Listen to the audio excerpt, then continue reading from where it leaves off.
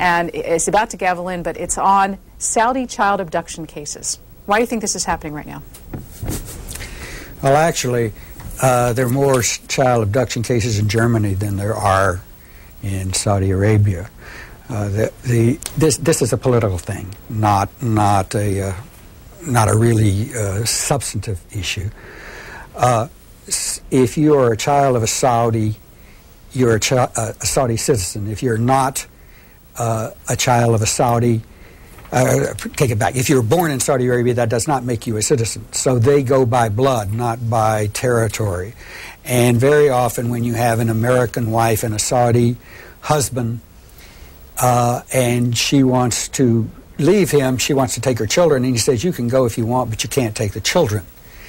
And it, that's the usual dynamic in which this happens. Either she sneaks him away, the, or the child away and kidnaps him, which is far more often than the other way around. Or, but in in, in a couple of highly publicized cases, it's been the other way around, in which the Saudi has gotten back his child, which he thinks he should have custody because in that country it goes by blood, and that's sort of the the very quickly the the, the the details in which these hearings are supposed to be had. I would prefer if they talked about it worldwide because Saudi Arabia is certainly not the, the, the place where most of this happens. It's mostly in other places like Germany. As you can see on this uh, Wednesday morning in December, waiting for uh, members of the committee and the chairman and also uh, some of the witnesses to assemble for. It. We're going to bring you live coverage. It's expected to last until noon Eastern Time. Uh, Dan Burton, again, of Indiana, the chair, and among the witnesses will be Pat Roush, who is the mother of American citizens abducted to Saudi Arabia. Uh, also, uh, Eileen Denza, University, of Co University College London, and others. And we thank you for being with us. We're going to take you now to that hearing room for uh, coverage of this hearing this morning.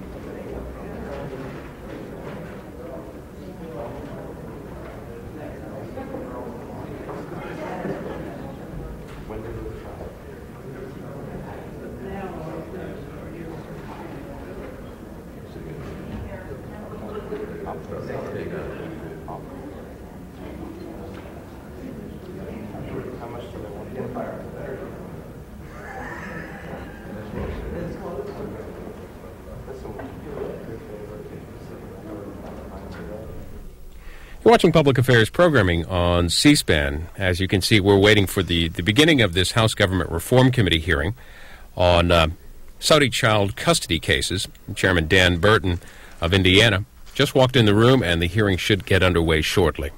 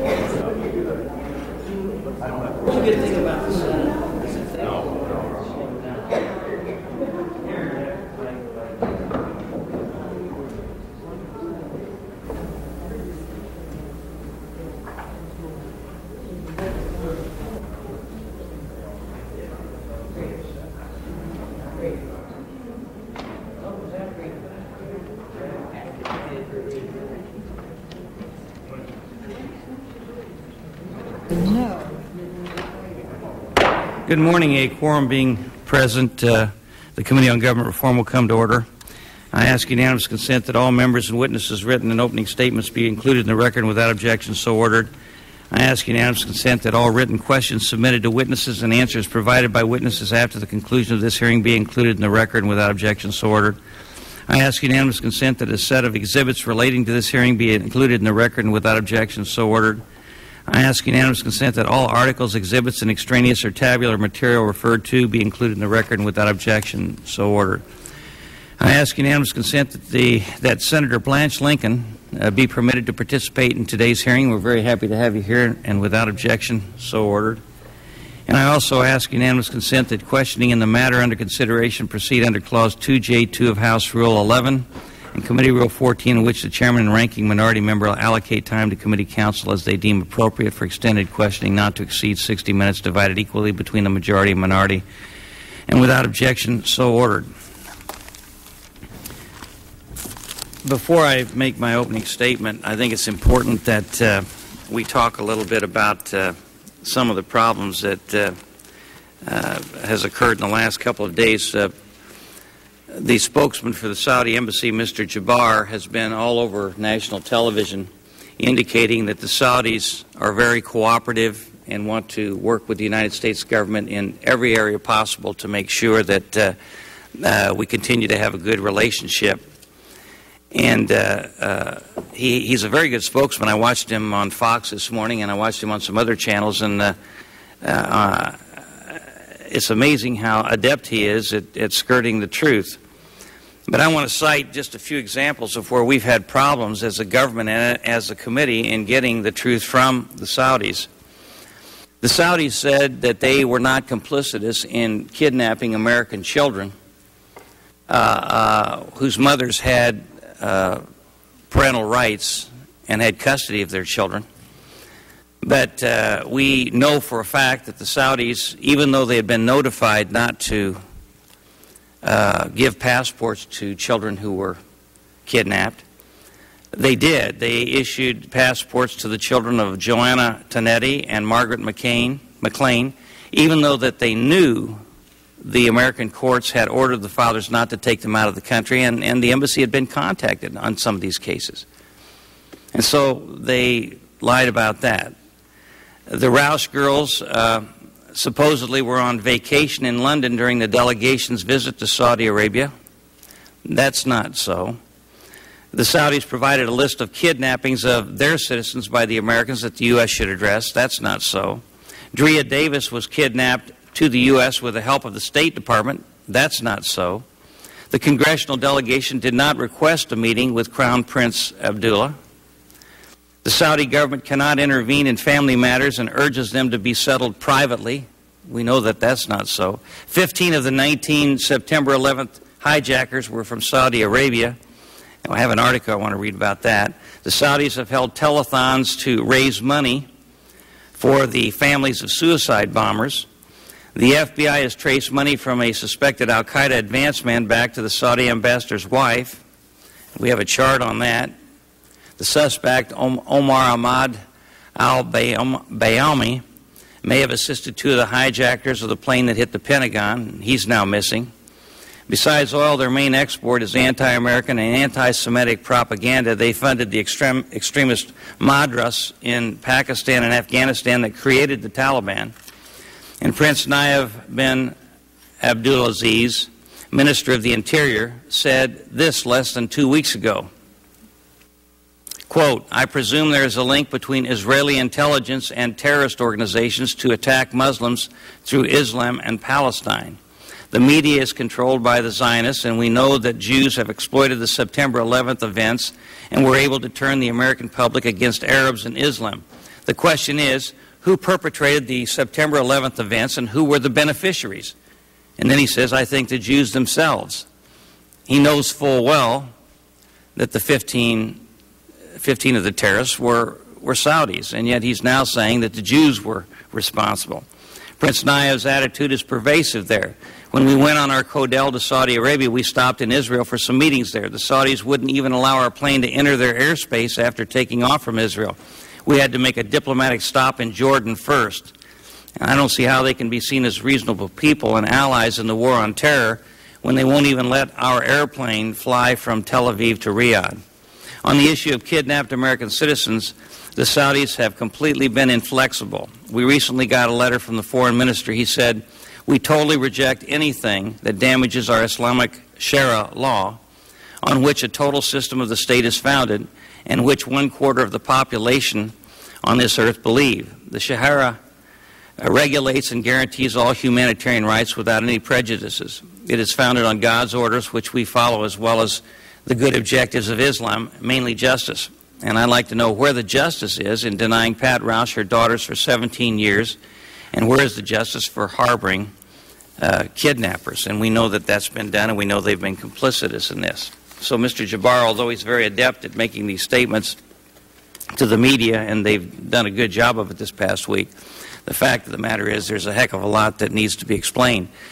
Now, we have, we have contacted their lobbyists to get information that they may have regarding the kidnapping of these children and the uh, complicitness of the Saudi government. The lobbyists have said that they're protected, and the Saudi government has said that they're protected by the Vienna Convention, and that they don't, they're an arm of the Saudi government, and therefore they don't have to give us any documents that they have.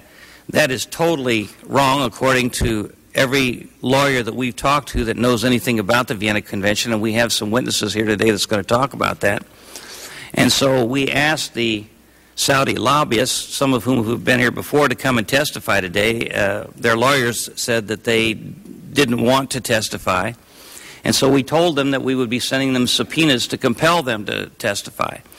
Uh, when the U.S. Marshals went to serve the subpoenas, they weren't at their homes, they weren't at their offices, they were nowhere to be found. Now, you would say if this was one lobbyist, that would be understandable.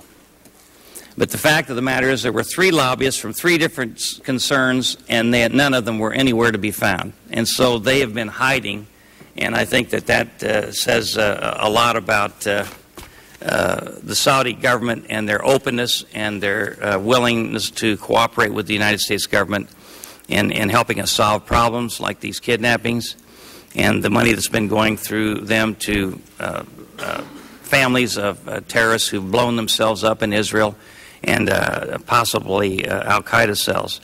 And so uh, we're very disappointed the lobbyists aren't here, but uh, we will be asking some questions that are relevant to them anyhow. We're meeting, as I said before, to meet uh, today uh, about American children who've been abducted to Saudi Arabia. Um, I don't want to be here today. It's the holidays. Congress is not in session. I don't think any of us, the senator or the uh, Congresswoman uh, would rather be someplace else, but this is very, very important, and so we're here. But I feel we've reached a stalemate on this issue, and I don't think we can just forget about it. We've seen very little progress at all from the Saudis on any of these kidnapping cases. A couple of mothers have received phone calls, and that's about it. The lobbyists for the Saudis, as, as I said, have refused to comply with our subpoenas. The embassies continue to spread disinformation and that's why we're here holding yet another hearing. One of the most frustrating things to me is that you just can't get a straight answer from the Saudis. Their spokesman had a press conference at their embassy yesterday, and the things he said make it clear that they just don't get it. He said that these cases are private matters and they have to be dealt with by the families. Well, that's not true. These are American children who were kidnapped in violation of U.S. court orders. In many of these cases, arrest warrants have been issued for the fathers in at least two cases that we know of, the Saudi kidnappers by issuing Saudi passports to the children. And they did it after they were informed that the children were not allowed to leave the country. So the Saudi government aided and abetted the kidnappings, and they are harboring the fugitives. And that's not a private matter. Their government must take responsibility. I want you to listen to what Prince Bandar wrote in the Wall Street Journal in September.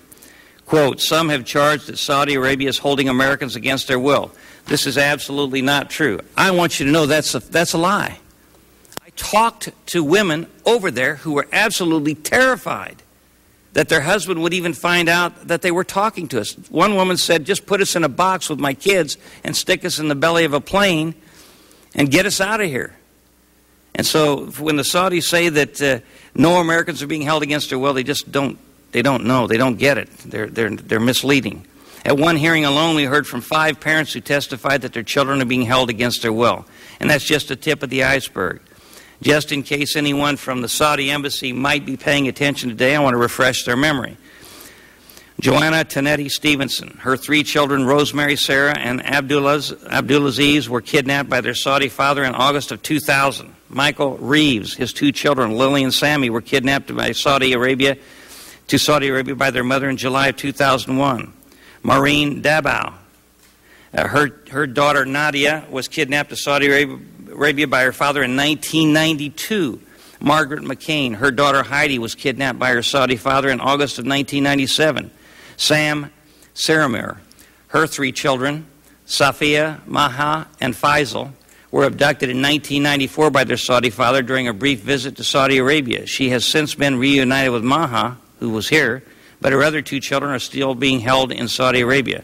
Deborah Dokkow, her two children, Rami, uh, Rami and Suzanne, were abducted by their Saudi father in 1988 during a brief visit to Saudi Arabia. She has since been reunited with her son, but her daughter is still being held against her will in Saudi Arabia. Monica Stowers, her daughter Amjad, has been held in Saudi Arabia since 1986. We met Amjad in August. The Saudi says they gave her a passport and allowed her to leave. But if you hear the whole story of that, how they her father married her off to some guy she didn't even know a week before we got there, I mean, the things that the, the, the, hoops they jumped through to keep her from coming to the United States is unbelievable. And it was apparent to me when I talked to her, she was scared to death. Not only that, the religious police came in and threatened our meeting because Amjad's mother didn't have her head properly covered during the meeting. I'm sure she was followed there because they came right in after she got there. Pat Roush, her two daughters, Alia and Aisha, were abducted by their Saudi father in 1986. Instead of allowing her daughters to meet with their mother in the United States, the Saudis sent them to London and pulled a publicity stunt at the very same time we were going over there. They got them out of the country, and they had an entourage of men with them, and the way they were uh, uh, questioned showed very, very, uh, very uh, uh, clearly that they were uh, subjective to the men because when the men left the room, that was uh, they they were in the other room while they were questioned. When they came back in, they put on their abayas. That's those things that cover them from head to toe, and they sat meekly in the back of the room while the husbands answered the questions on whether or not any of the statements could be made public.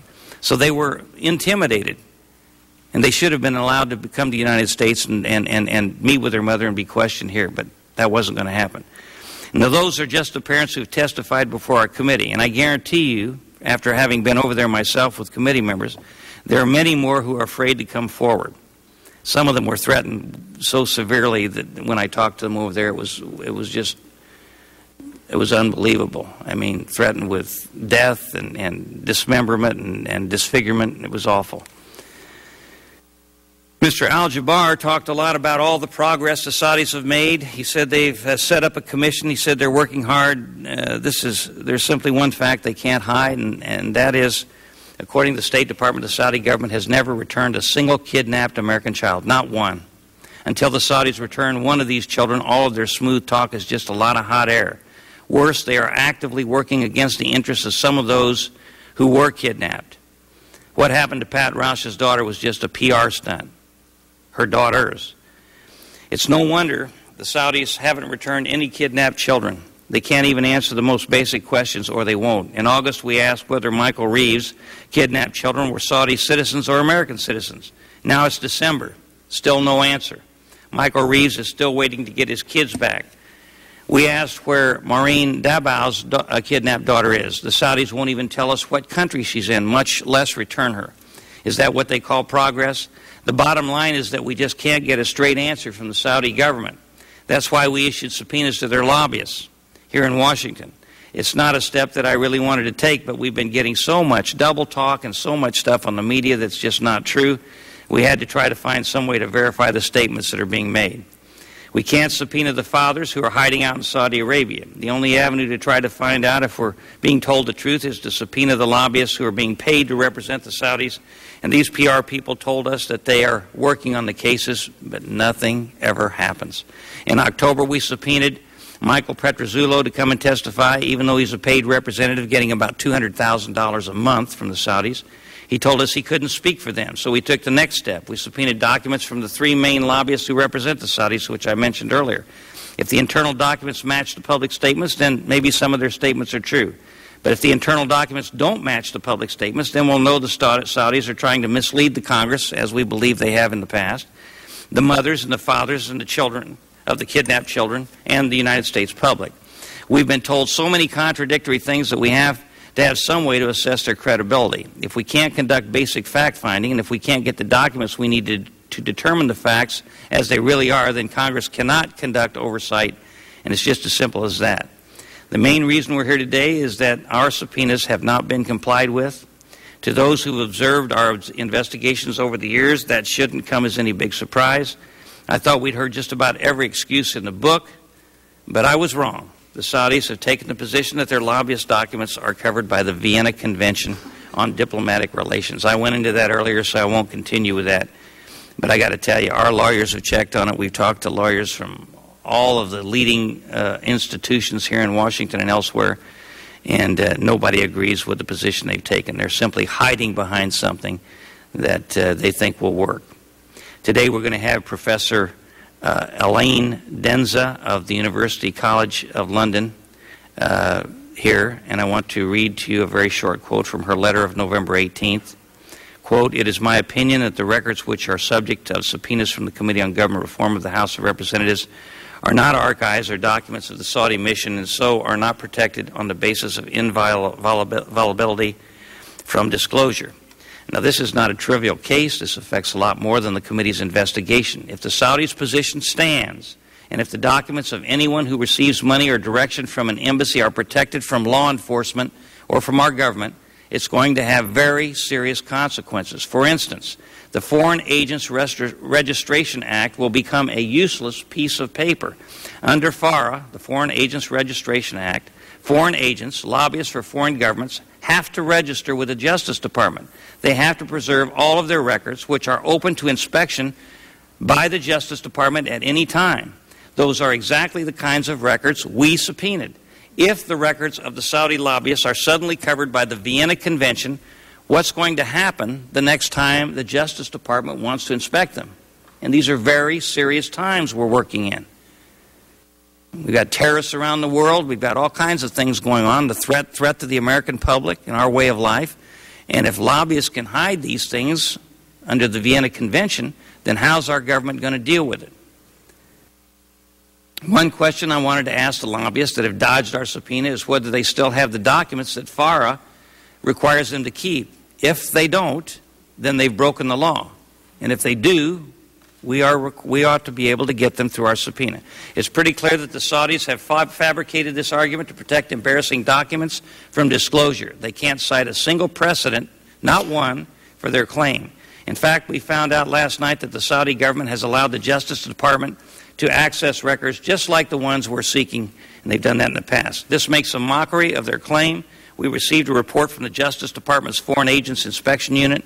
They inspected the records of Saudi lobbyist Frederick Dutton the report noted that the records were available for inspection and contained many memos from the registrant to the ambassador.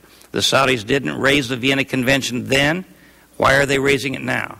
And that's something our government ought to be very concerned about. Probably because they're hiding embarrassing documents.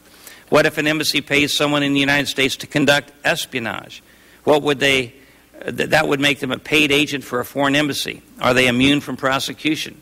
Do they not have to comply with lawful subpoenas? That would be the effect of the Saudi position.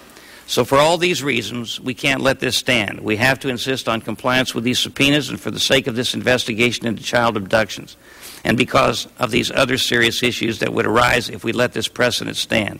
And that's why I've called before us today the three lobbyists and their legal representative. Now, they're not here, they're hiding someplace, possibly at the Saudi embassy.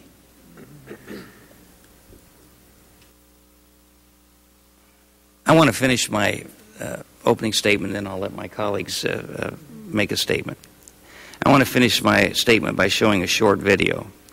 And I want to do this to remind everyone why this is so important. I want everyone to see one more time what Maha Saramir said. Now, this is a young lady that uh, was uh, uh, said one thing in Saudi Arabia because she was threatened.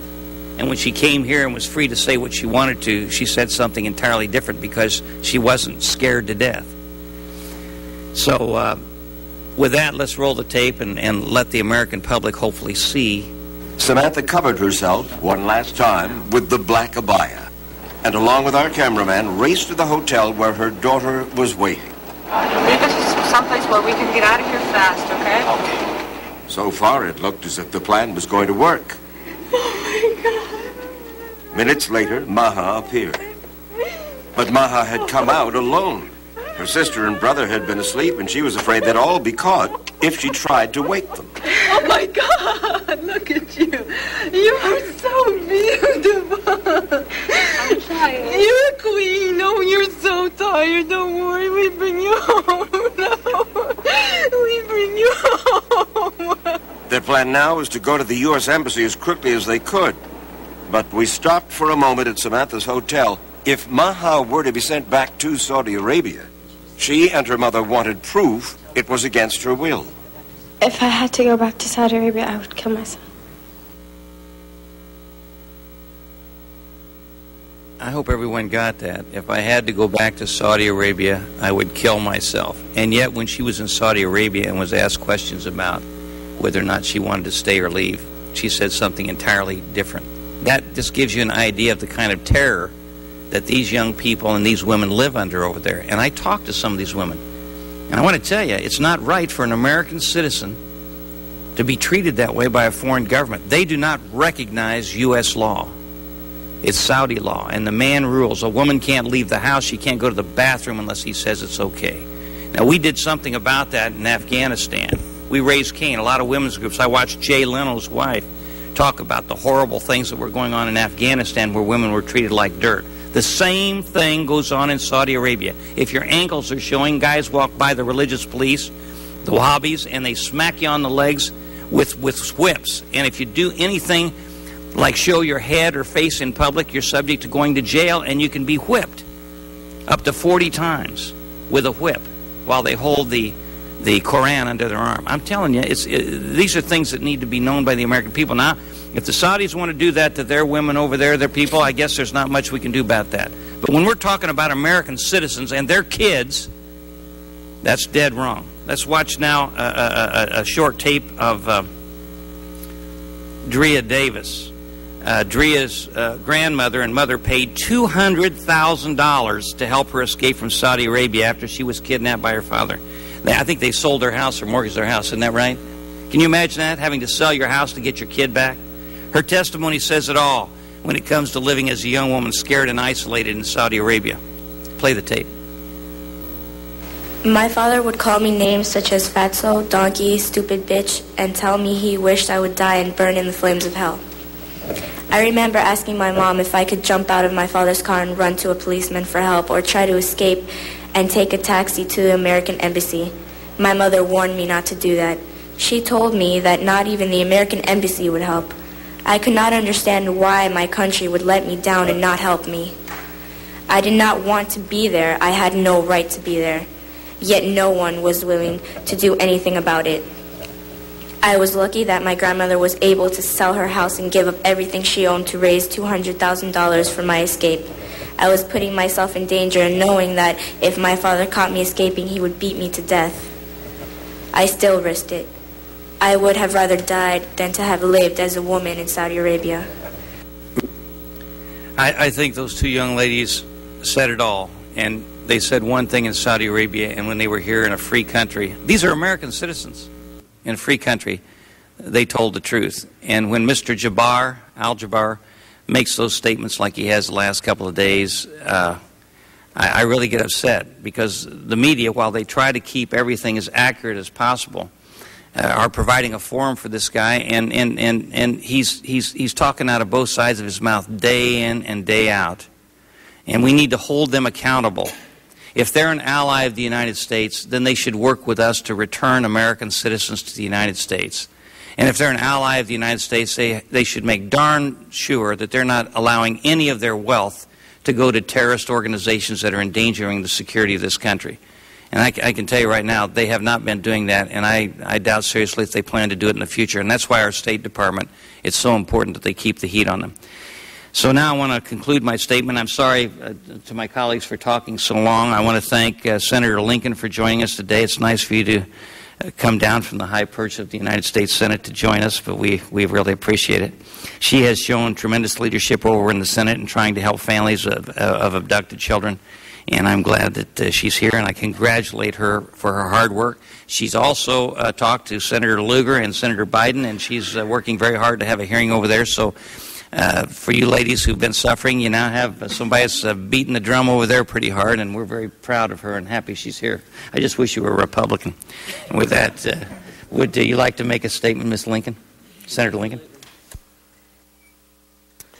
Well, Mr. Chairman, I first want to commend your leadership on the issue of uh, child abductions and the wrongful detention of U.S. citizens in Saudi Arabia. You mentioned that it's normally a break time for us here in Washington and that uh, everybody is scattered far and, and, and wide uh, as far as our colleagues are concerned.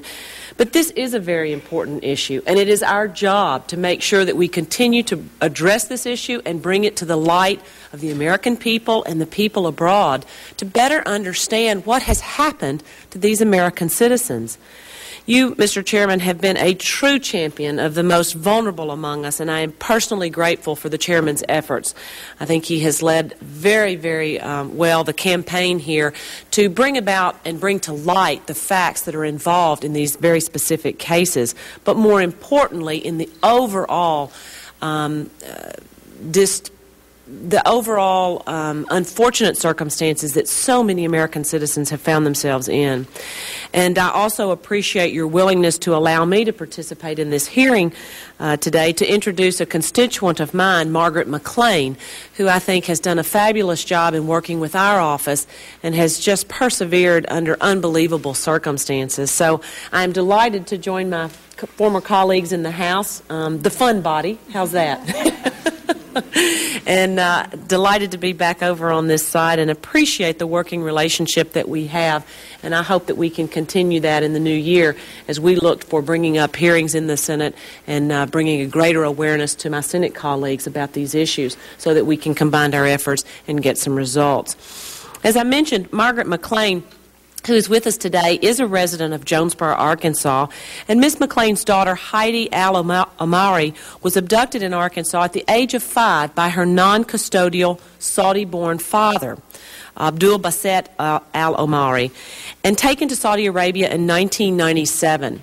I'd like to point out that um, Mr. Al Omari used our system of justice, he used our court systems to gain access to his daughter in pleading with the judge to ask for those uh, unsupervised visits, he used our justice system and then immediately turned in complete disregard and thumbed his nose at the very justice system that provided him that ability to have those visits with his child.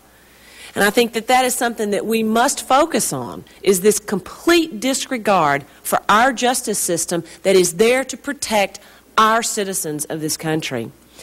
At the time of the abduction, Ms. McLean had legal custody of Heidi, and Mr. Alomari was permitted unsupervised visitation against the will of, of Miss McLean, I believe.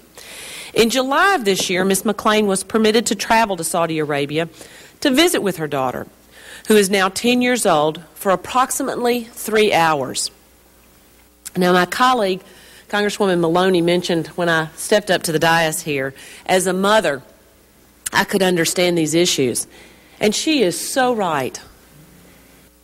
My heart and my prayers, my thoughts and my compassion have gone out not only to Mrs. McLean, but to all of these other parents who have suffered this incredible separation from their children.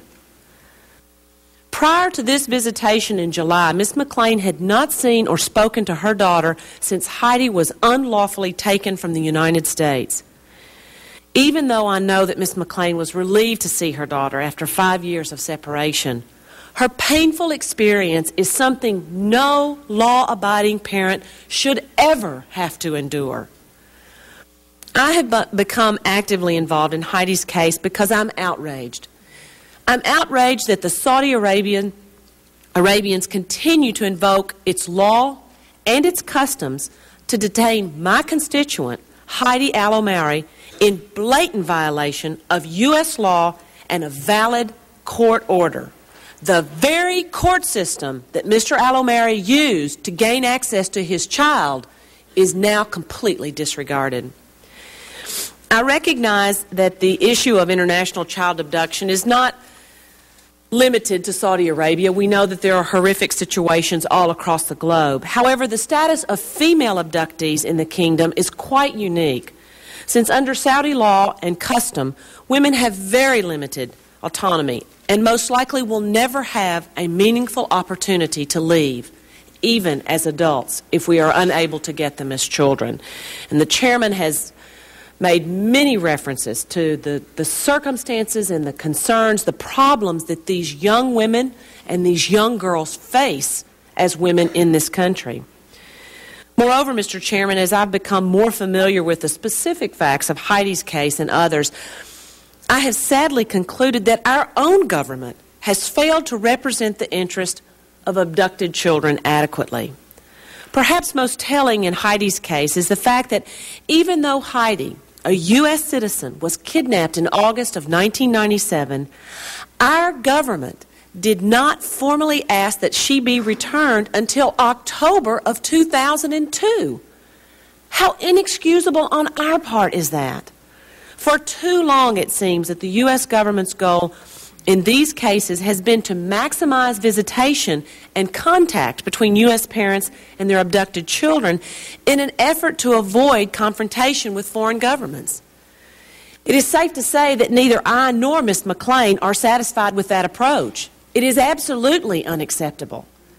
I firmly believe that our policy should be to aggressively seek to recover abducted children who are American citizens being held against their will especially when they are taken to a country that displays contempt for the basic values that we all cherish as Americans. I, for one, am not prepared to accept any result short of the recovery of Heidi from Saudi Arabia. Ms. McLean, I join you in that fight, and you know that I will be there with you. And I will join the rest of these members here as we work towards that end. I'm monitoring the progress of Heidi's case personally, and I fully intend to hold the Saudi government and the Bush administration accountable for bringing this matter to a satisfactory conclusion. I've dis- discussed Heidi's case at length with Secretary Powell on the phone. And he has assured me that he will be personally involved in resolving her case. It's my understanding that the Saudi government is currently unwilling to pressure Saudi parents who have abducted American children to comply with valid U.S. custody orders. If the administration is unable to persuade the Saudi government to reverse its position in these cases, I and others are prepared to take steps in Congress to ensure the Saudi government is fully aware that its current policy is absolutely unacceptable.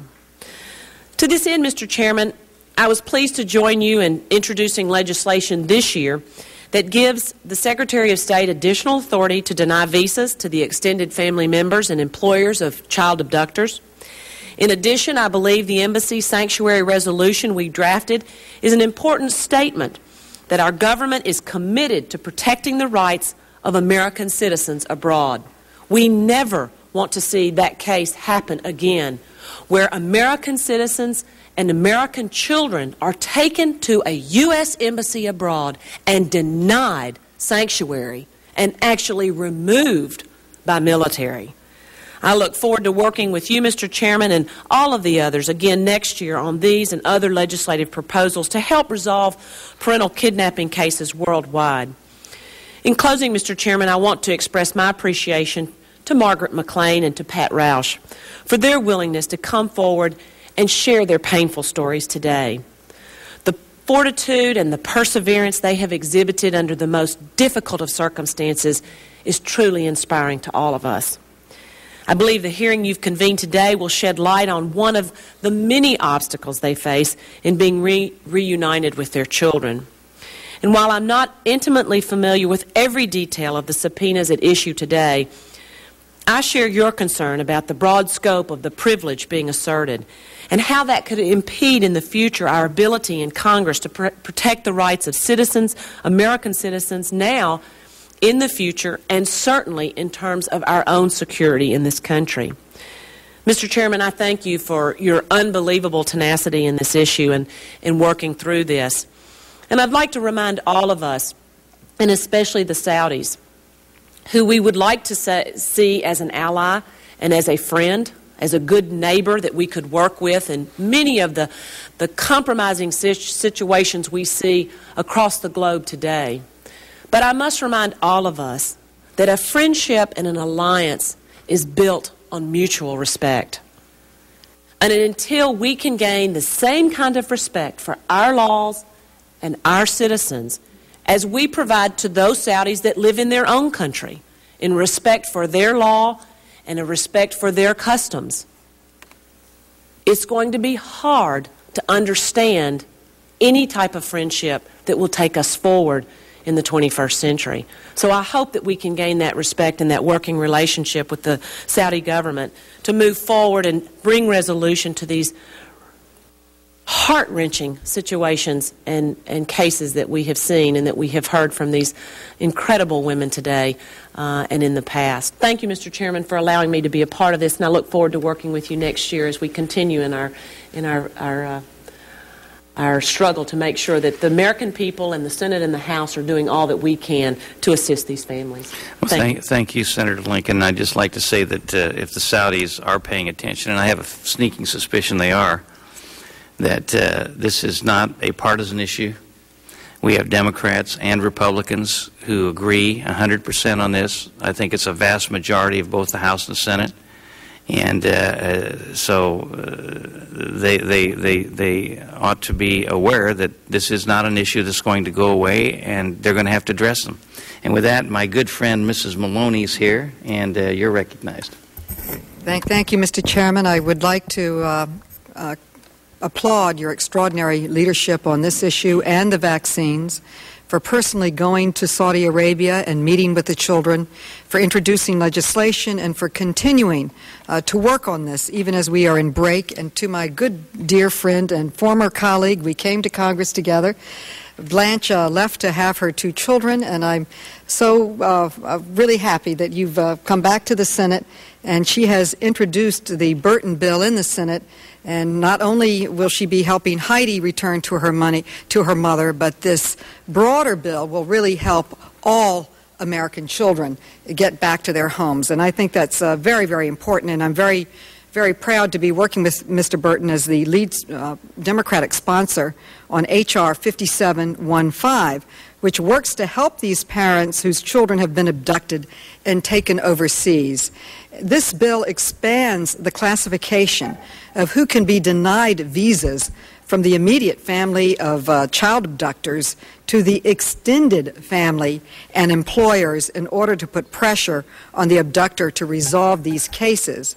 I would like to further note that we have heard testimony from former Ambassador Mabus that denying visas to the families of abductors can put pressure on the abductors. And unfortunately, Ambassador Mabus left the U.S. Embassy shortly after instituting this policy.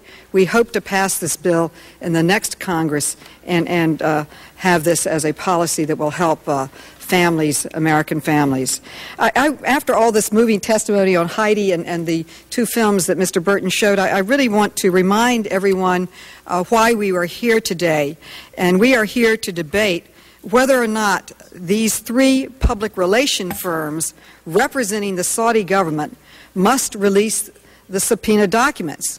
But we must not forget that the real reason we're here is because American children have been torn apart from their parents and are being held against their will in a foreign country that does not observe the many rights American citizens enjoy in our own country. I have said over the course of these hearings that our witnesses have presented uh, wrenching accounts, and I would like to thank uh, the two witnesses today for your willingness to share them with us. I, I would uh, like to state that I believe the Government Reform Committee acted well within its jurisdiction when it requested the documents in question. Over the course of, these hearings, we have been unsatisf- unsatisfied, to say the least, with the level of, of, cooperation and amount of information provided to us by the Saudi government. At times, information has been withheld. In other cases, information has been patently false. This is unacceptable. I strongly believe that if there is one sentence in all these documents that might help return one child to his or her mother, then these records must be released. Secondly, the Saudi government has provided a weak interpretation of the Vienna Convention to support their case. The convention has rules and procedures that govern the privileges and immunities of diplomatic missions. However, there is nothing in the treaty which would extend these diplomatic privileges to outside agents of the mission.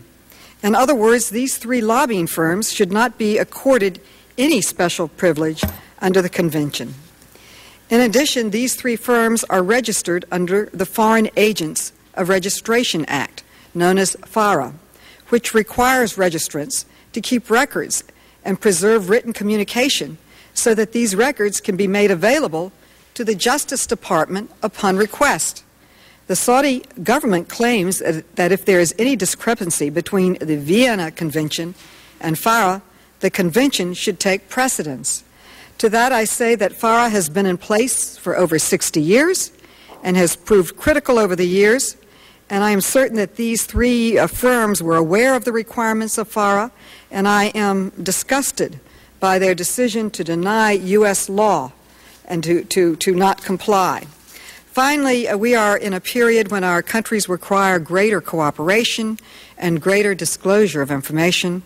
While I am troubled by the Saudi government's refusal to release these documents, I am hopeful that we can work together to achieve uh, greater cooperation, transparency, and ultimately to resolve these tragic family situations. These families, these children have a right to know what is contained in these documents, and I look forward to the hearing. Finally, Mr. Chairman, I would like uh, permission to place into the record an article that is in in the uh, this is the Washington Post today. And I think it's directly related to what we're working on today, and it's called Saudis Deny Dragging Feet on Terrorism. And if they can deny information on domestic individual cases, then they can deny information on alleged activities of their charities, on alleged activities of funding uh, suicide bombers, and other uh, information that has been disturbingly uh, exposed, really, by the, the press in this country. And I feel that it's is, is extremely important to the families, but it's also uh, important on our, in our cooperation in our, in our fight against uh, uh, terrorism. So again, I thank you for really putting putting uh, you didn't put just one finger in you know the old game hokey pokey you put your whole fan you put your whole body into this issue and, and have been working very hard on it and, and uh, we all appreciate it thank you Thank you, Representative Maloney. You're going to have to explain to me what that game was. I, Don't you remember the game? You put one finger in, you put one finger out. The hokey pokey? Yeah, you put one foot in, you put one foot out, you put the whole body in.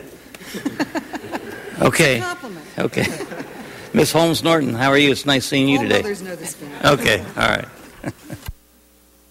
I'll rescue you that, from that lesson you were about to receive from our good colleague. Um, let me first thank you, Mr. Chairman, for what can only be called tenacious uh, work and follow through uh, on uh, an issue where you have been resisted uh, at every turn. I think that your failure to be deterred uh, sends an important lesson to the Saudis, a lesson that I hope the committee and the Congress will follow through on in the, in the next Congress, and especially as we learn more, as we will today, uh, about the consequences of Saudi action. Uh, I think you are going, we are all going to see a response from the American people that uh, will, will, uh, that can't even move the Saudis. And I say that, Mr. Chairman, because the, I recognize that the timing of this hearing is entirely coincidental. But I think we have seen what the Saudi government will do when there is, in fact, pressure. The firestorm that erupted about um, funds that apparently made their way from the ambassador's wife to the, the realm of the hijackers and the outrage of the American people on that uh, brought forth uh, the foreign policy advisor, Mr. Al Jubeir, to voluntarily offer up, apparently yesterday, all kinds of information about uh, funding, about uh, uh, about how, how what the Saudi Saudi Arabia, so, what the Saudi government has done uh, to trace these funds and uh, to make sure that these charities uh, are, are in fact uh, not uh, contributing to terrorism. I haven't seen this document, but I, I do know that they weren't willing to say very much about this until, uh, in fact, this caught the attention of the press and of the American people. Now, you know, there was a lot of spin in Mr. Uh, Al Jubeir's um, press conference, I and he is a master of that. He uses the English language better than most Americans, and when he slips, he says, "Oh, you have to forgive me. My English is a little rusty." Um, this is a man who is absolutely and totally immersed in American culture. Um, he must understand and indeed the entire sophisticated uh, Saudi power structure must understand, therefore, because of their familiarity with our country, how outrageous these crimes are. And what we are dealing with are certainly crimes. We are taught that you got to understand that when you go into these countries where people have different cultures, we, we, we, we can't change people's cultures by ourselves. I couldn't agree more. I think we have to follow the lead of those in those countries who would change those cultures. But, Mr. Chairman, they are now messing with our culture and with our children and with our laws. This is no longer a case of you're, you're dealing with the Saudis and how they deal with things. They have not only implicated us in our laws, they are in direct violation of our laws. They've shown no respect for our people as American citizens. Um, they have enslaved some of our children, kidnapped uh, some of our children and their families, forced marriage on some of our children. The notion that we would abide this and that our own government would be complicit in it is a complete and total outrage. Now, your hearings, Mr. Chairman, have peanuts in the world that they refuse to honor may not do. Uh, because that exposure, I think, is ultimately going to get the kind of response uh, from the American people that the scandal about the funds of recent days uh, got with some with, with, some results apparently from the Saudi government.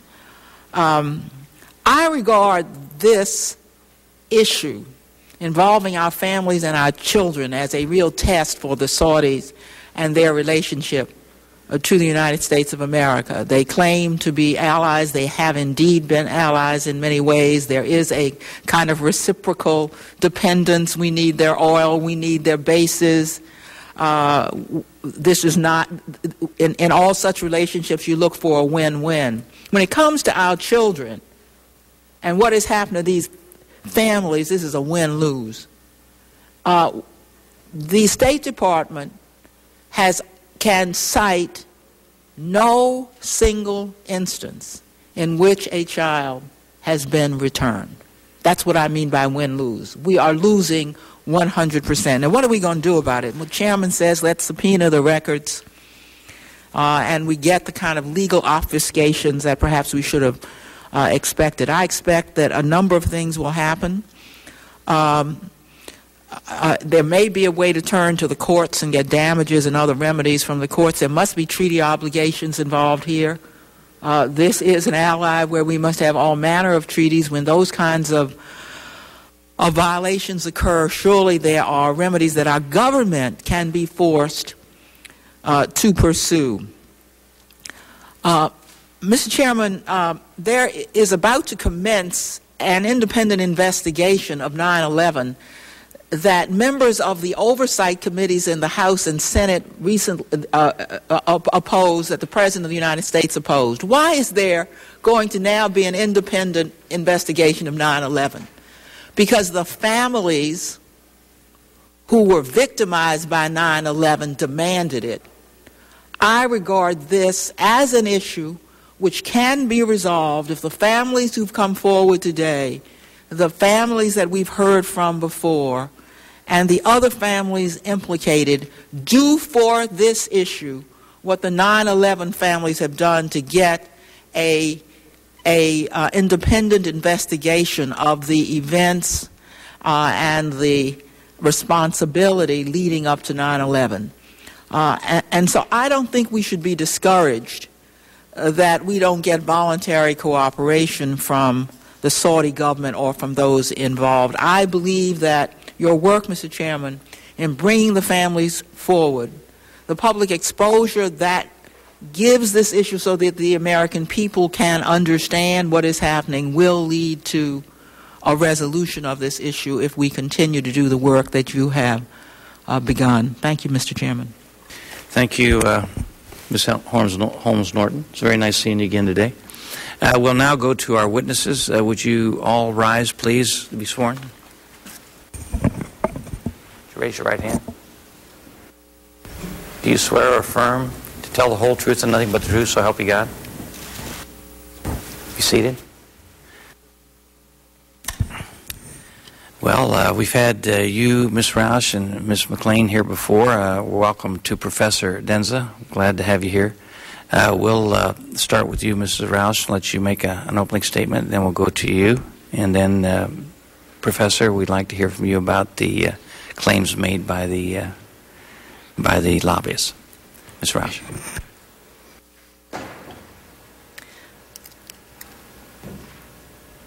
Good morning, Chairman Burton and members of the committee. It is once again an honor to bring my testimony before this distinguished body in regards to this committee's continued efforts to assist American women and children who are in grave danger inside the walls of Saudi Arabia and are unable to come home to the United States of America. This hearing, which concerns the Saudi embassy claim of privilege in instructing its lobbyists and public relations specialists to not turn over subpoenaed documents to the committee concerning abducted American citizens, is of the utmost importance in helping to reveal the truth about the role of these firms who do the bidding for the Saudi Arabian government. For 17 years, my daughters and I have been victims of the gamesmanship played by the Saudi government, State Department, and Saudi handlers. It all started almost from the very beginning of the kidnapping of my daughters in 1986. My past experiences in dealing with the paid representatives of the Saudi Arabian government. Let's begin with Saudi national Salah al Hejlan his name was sent to me by the State Department just six months after my daughters were kidnapped. They advised me there was nothing they could do to get my daughters out of Saudi Arabia, and I had no recourse except to hire a Saudi attorney and go to Islamic court to try to win custody of my U.S. citizen daughters. The State Department knew very well that I would never win in an Islamic court in Saudi Arabia as an American Christian woman, but prodded me to hire an attorney who assured me from the very beginning that he was very well connected to the king's brother, Prince Salman bin Abdulaziz, governor of Riyadh. In fact, he gloated that he was a member of Salman's court and that his brother was the Saudi Minister of Health and another relative was the former Saudi ambassador to the United States. In other words, the State Department had recommended that I hire a member of the Saudi government to work to get my daughters back, when in fact the State Department should have been doing everything they could to bring these young girls home. It's like being told by your commander that you have to go to the enemy to save you because, sorry, we're not going to help you. Due to pressure raised in the U.S. Congress by former U.S. Senator Alan Dixon, the Saudis, through Hejailan, proposed a plan to have my daughters released from Saudi jurisdiction and returned to U.S. soil. Hejailan enjoyed a pristine relationship with the U.S. Embassy in Riyadh and suggested that he be endowed with the title of, quote, special legal advisor, unquote, to the embassy in order to work for the release of my daughters. When the U.S. Embassy Riyadh suggested this to the State Department, Washington replied that this was totally out of the question. Hejailan could never, never, never have that title. Then the State Department double crossed me at the 11th hour of the final negotiations for the release of my, my girls and refused to send the then U.S. Ambassador Walter Cutler into a meeting to finalize the release of my daughters and informed the embassy to, quote, remain neutral and impartial, unquote. Hejailan crowed, quote, Your government won't help you. Your State Department doesn't want you. You will see your children if and when we decide, unquote. Then he proceeded to bring a camera crew inside the villa where my daughters were being held and told them to make statements about how they hated me and the United States. When the girls refused to comply, they were taken into a back room and threatened. This was told to me by a witness at that taping. Former U.S. Consul General Richard LaRoche, who sat by and merely observed as these two little girls, then four and seven years of age, were intimidated and scared by Hejailan and the nine other men he brought into that villa to make the tape. That was the first time the Saudi government and their retainers coerced my daughters to disavow their mother and country with the complicity of the Department of State. In 1995, nine years later, U.S. Embassy Riyadh Consul General Gretchen Welch informed me that Hejailan had at last been bestowed the title of, quote, legal advisor, unquote, to the U.S. Embassy, and that, quote, everyone around here values his opinion, unquote. How could a Saudi who works for the Prince of Riyadh be a legal advisor to the U.S. government? And if the State Department was going to honor him in this way, why wouldn't they do it when, when, it when it would have made a great deal of difference in the outcome of the negotiations for my daughters? Over the years, Hejailan continued to use everything he could to double cross me and cause me an incredible amount of pain. He penned letters of gratitude, praising himself, and faxed them to me, claiming that if I did not sign them, I would not be able to see my children again. Time after time, he placed me in a position of a supplicant on my knees to beg for what is mine, the bone of my bone and flesh of my flesh. Then there was a setup regarding Walter Cutler and the hold I asked Senator Dixon and Senator Helms to place on Cutler's second confirmation as U.S. ambassador to Saudi Arabia after Hume Horan was expelled from the kingdom in 1988, persona non gratis. Another betrayal and double cross with the assistance of Walter Cutler and the State Department. Hejailan also worked with Wyche Fowler to perform dirty trick after dirty trick upon me, including the fabrication and creation of false documents, phony visits, and endless lies and ruses. At one point, he screamed at me, quote, You are being punished for going to the politicians and the press, unquote. He still tries to get involved with these kidnapping cases as recently as last summer, after the Government Reform Committee hearing on June 12th, Hejailan contacted Monica Stowers in Riyadh and had a deal for her. He might have even had a hand in that whole million dollar bribe episode and the underhanded scheme to take Amjad Redwan into the marriage with a Saudi Air Force pilot. Next, we have Fred Dutton of the Washington law firm of Dutton and Dutton. Mr. Dutton has represented the Saudi embassy for almost two decades. He has been instrumental in working with Saudi Ambassador Prince Bandar, Saudi Foreign Advisor to the Crown Prince Adel Jubeir, Rehab Massoud of the Saudi Embassy, and others in trying to discredit and marginalize me. He met with former U.S. Senator Alan Dixon in May of 1987 and told, told him in no uncertain terms that if Geshayan was deemed an unfit father to my daughters, the girls would never, never be returned to me, but rather given to another male relative of the family. Even a few months ago, he told my attorney that I had caused a great deal of pain and anguish to many people at the Saudi embassy in Washington. He repeatedly blocked negotiations, including the deal to release my girls in 1996 with former U.S. Ambassador to Saudi Arabia, Raymond Mabus. then in 1998, when I was organizing a press conference at the National Press Club in Washington regarding violations of human rights by the Saudi government, and had invited various parents of victim children and a former U.S. diplomat that was assigned to the U.S. consulate in Jeddah, I met with the Saudi torture lobbyist group Hill and Knowlton I had discovered that many of the rooms at the National Press Club had been reserved by Hill and Knowlton for the same day that our press conference was scheduled. I thought it was more than coincidental. Shortly after that, I began receiving emails from Jim Jennings, Director of National Practices at Hill and Knowlton. His email states, I have seen recent email traffic about your concerns over meetings at the National Press Club next week. You are mistaken if you believe in any way, shape, or form that our company is involved with this matter or representing any aspect of the government of Saudi Arabia on any matter. I have been with this firm for 25 years and do not remember a time when, I, when we have ever represented the Saudis, yet you st- state boldly in your email that we do. Although Mr. Jennings denied that his firm ever represented the Saudi government in any shape, way, or form, Hill and Knowlton is mentioned in the book Agents of Influence by Pat Choate. I'd like to read to you a piece from the December 15, 1992 Houston Post. Human rights abusers pay lobbyists millions. Nations that abuse human rights pay millions every year to Washington insiders, Republicans and Democrats alike, seeking foreign aid and special treatment from the U.S. government, says a report due out today. U.S. taxpayers are indirectly supporting the activities of lobbyists, lawyers, and public relations firms who were paid more than 24 million in 1991 to 92 to represent foreign interests that are persistent abusers of human rights, concludes a report by Center for Public Integrity.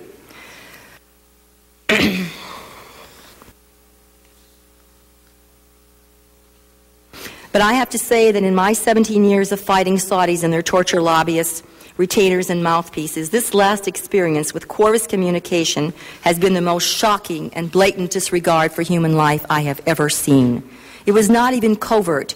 They didn't even do it to me behind closed doors like Hejailan and Dutton and then just walk away smirking. No, this time, Adel Jubeir and Qorvis, Gallagher, and Patton Boggs felt so arrogant, so smug, and so confident that they could pull off this scheme in London with my daughters as their little pawns to move around the planet anywhere and any time they wanted. They, so to speak, pulled it off in broad daylight. Michael Petruzzello of Qorvis testified in October that the Saudi government has been trying so hard to convince my daughters to come to the United States to visit me, but they just couldn't talk the girls into it. Nope. But the girls had a great idea to go to London at the same time members of the U.S. Congress were in Saudi Arabia trying to free them. Petruzzello also stated that he only knew about the London trip two days before the girls were taken there. Does Petruzzello know that perjury is a crime? Does he know that his dealing, he is dealing with flesh and blood? How far would the Saudi officials and Saudi retainers take this cruel and treacherous game to destroy me and my daughters? What's next in line for us? Murder? Will we be accidented or suicided? Or is there better punishment for all of us to continue to force my daughters to remain in Saudi Arabia for the entire remainder of their lives and never leave, having a baby each year and live lives of total submission and servitude to the males their father sold them to, with absolutely no freedom and no choices at all? The Saudi officials and American traders who do their bidding for them just had to come with, up with a plan to finally stop me, shut me down. I'm sure they all sat around some plush office like the one Margaret Maureen and I were in at Hill and Knowlton, or perhaps it was out at Bandar's Palace in McLean on the Potomac, where they kicked around this little hatchet job on me and my daughters, Congressman Burton and the CODEL. They felt so positive that no one could stop them that they even chose to do the deed the very same weekend that members of Congress had journeyed to Saudi Arabia to ask the highest Saudi authorities for the release of my U.S. citizen daughters and others like them who were locked up in that treacherous prison known as the Kingdom of Saudi Arabia. Did they know that these plans involved criminal acts committed by Saudi nationals against U.S. citizens and should not have been taken so lightly? Al Jubeir had been salivating to make this happen for months, ever since the June 12th hearing. First, he went to Burns, State Department Near Eastern Bureau. In July, Randy Carlino of American Citizen Services called me and stated that Jubeir told Burns that my daughters would be available to meet with U.S. Embassy Consular Affairs in Riyadh concerning a statement where they wanted to live. But this statement had to be made public. I asked Carlino what Burns told Jubeir. Quote, he said he would, it would appear to be staged. And then I asked Carlino if Burns had told Jubeir that these were two American citizens and that the U.S. State Department wanted returned as soon as possible. Carlino stated that Burns had not mentioned that to Jubeir. Then, while the CODEL was making plans for the trip to Saudi Arabia and the Saudis and their guys downtown were planning all these television appearances for Jubeir to try to make them look good, Jubeir popped up on television personality Bill O'Reilly's O'Reilly Factor on August 9th. I had been a guest on the Factor earlier in the year, and O'Reilly asked Jubeir if my daughters were being held against their will in Saudi Arabia. Jubeir answered, Of course not. And then O'Reilly offered, uh, and then Jubeir offered O'Reilly a chance to interview my daughters. Jubeir knew he'd hooked his fish. O'Reilly's producer, Christine Cotta, called me. I told her that was absolutely not to be done. It was just what Jubeir had wanted and needed to destroy my girls. O'Reilly called me the next day and I told him to stay out of it. I offered to meet Jubeir on national television on O'Reilly's show, and O'Reilly informed me that Jubeir declined to get on television with me and referred to me as a enemy of the kingdom. I never heard from O'Reilly again, and I assumed the matter was put to rest. I was wrong. Labor Day weekend, while the CODEL was in Saudi Arabia to ask the Saudi authorities for my daughters to return to me in the United States, O'Reilly, Fox Television, the Department of State, an Associated Press Arab woman reporter who had written many, many favorable articles about Saudi regime, plus Adel Jubeir, his brother Niall Jubeir, who works for the Saudi embassy, and Qorvis Communications were all very busy directing, producing, and participating in the Stalinistic show trial of my innocent daughters that was taking place in London at the Langham Hilton Hotel, forcing them once again at gunpoint to disavow their mother and the United States. Alia and Aisha had not been allowed to leave Saudi Arabia since they were kidnapped in 1986. When I saw my daughters in Riyadh in 1995, Alia told me that they never left the kingdom. They were never taken to Europe on vacation like their friends were. Their father was wanted by Interpol and did not travel, and he kept his promise to me that Alia and Aisha would never be allowed to leave Saudi Arabia. But that was until Adel Jubeir and Qorvis and the others got involved with this scheme. On August 31, 2002, I'd spoken to Chief Counsel Jim Wilson, Chairman Burton in Arabia. A few minutes after that phone call, the State Department called me to inform me that my daughters were somewhere in Europe. Carlino wouldn't tell me what country they were in. Since neither Mr. Wilson nor Congressman Burton had mentioned anything about the girls in Europe, I was perplexed. He asked my permission for a U.S. Embassy consular officer to take down a statement from my daughters. I said no, as I had done in July. No other information was given to me. Carlino never mentioned the Saudi government involvement in this matter. The next day, a reporter friend had called me and read the official statement to me that was released by the State Department regarding my daughter's what my daughters allegedly told them at the Langham Hotel. Unbeknownst to me at that time, Miss Diane Andruch, Deputy Assistant Secretary of State for Consular Affairs, had given the order for acting U.S. Consul General Margaret Higgins at the U.S. Embassy in London to make the visit to the girls' hotel suite. Who had contacted the State Department to make this request? Adel Jubeir, supposedly on August 30th. We still don't know who gave Diane Andruch the order for the London Embassy meeting with the girls. Was it the Secretary of State himself? When the State Department was asked via written questions by the Committee for Government Reform while, uh, why Alia and Aisha did not make the request themselves, the response was that neither Alia nor Aisha spoke English, that this was simply not true. When I visited my daughters in 1995 with the assistance of U.S. Secretary, U.S. Ambassador to Saudi Arabia Raymond Mabus, my daughter Alia spoke English very well and has 100% comprehension of English. So if she really wanted to make her wishes known to the American Embassy in London, she, had, she could have called them herself.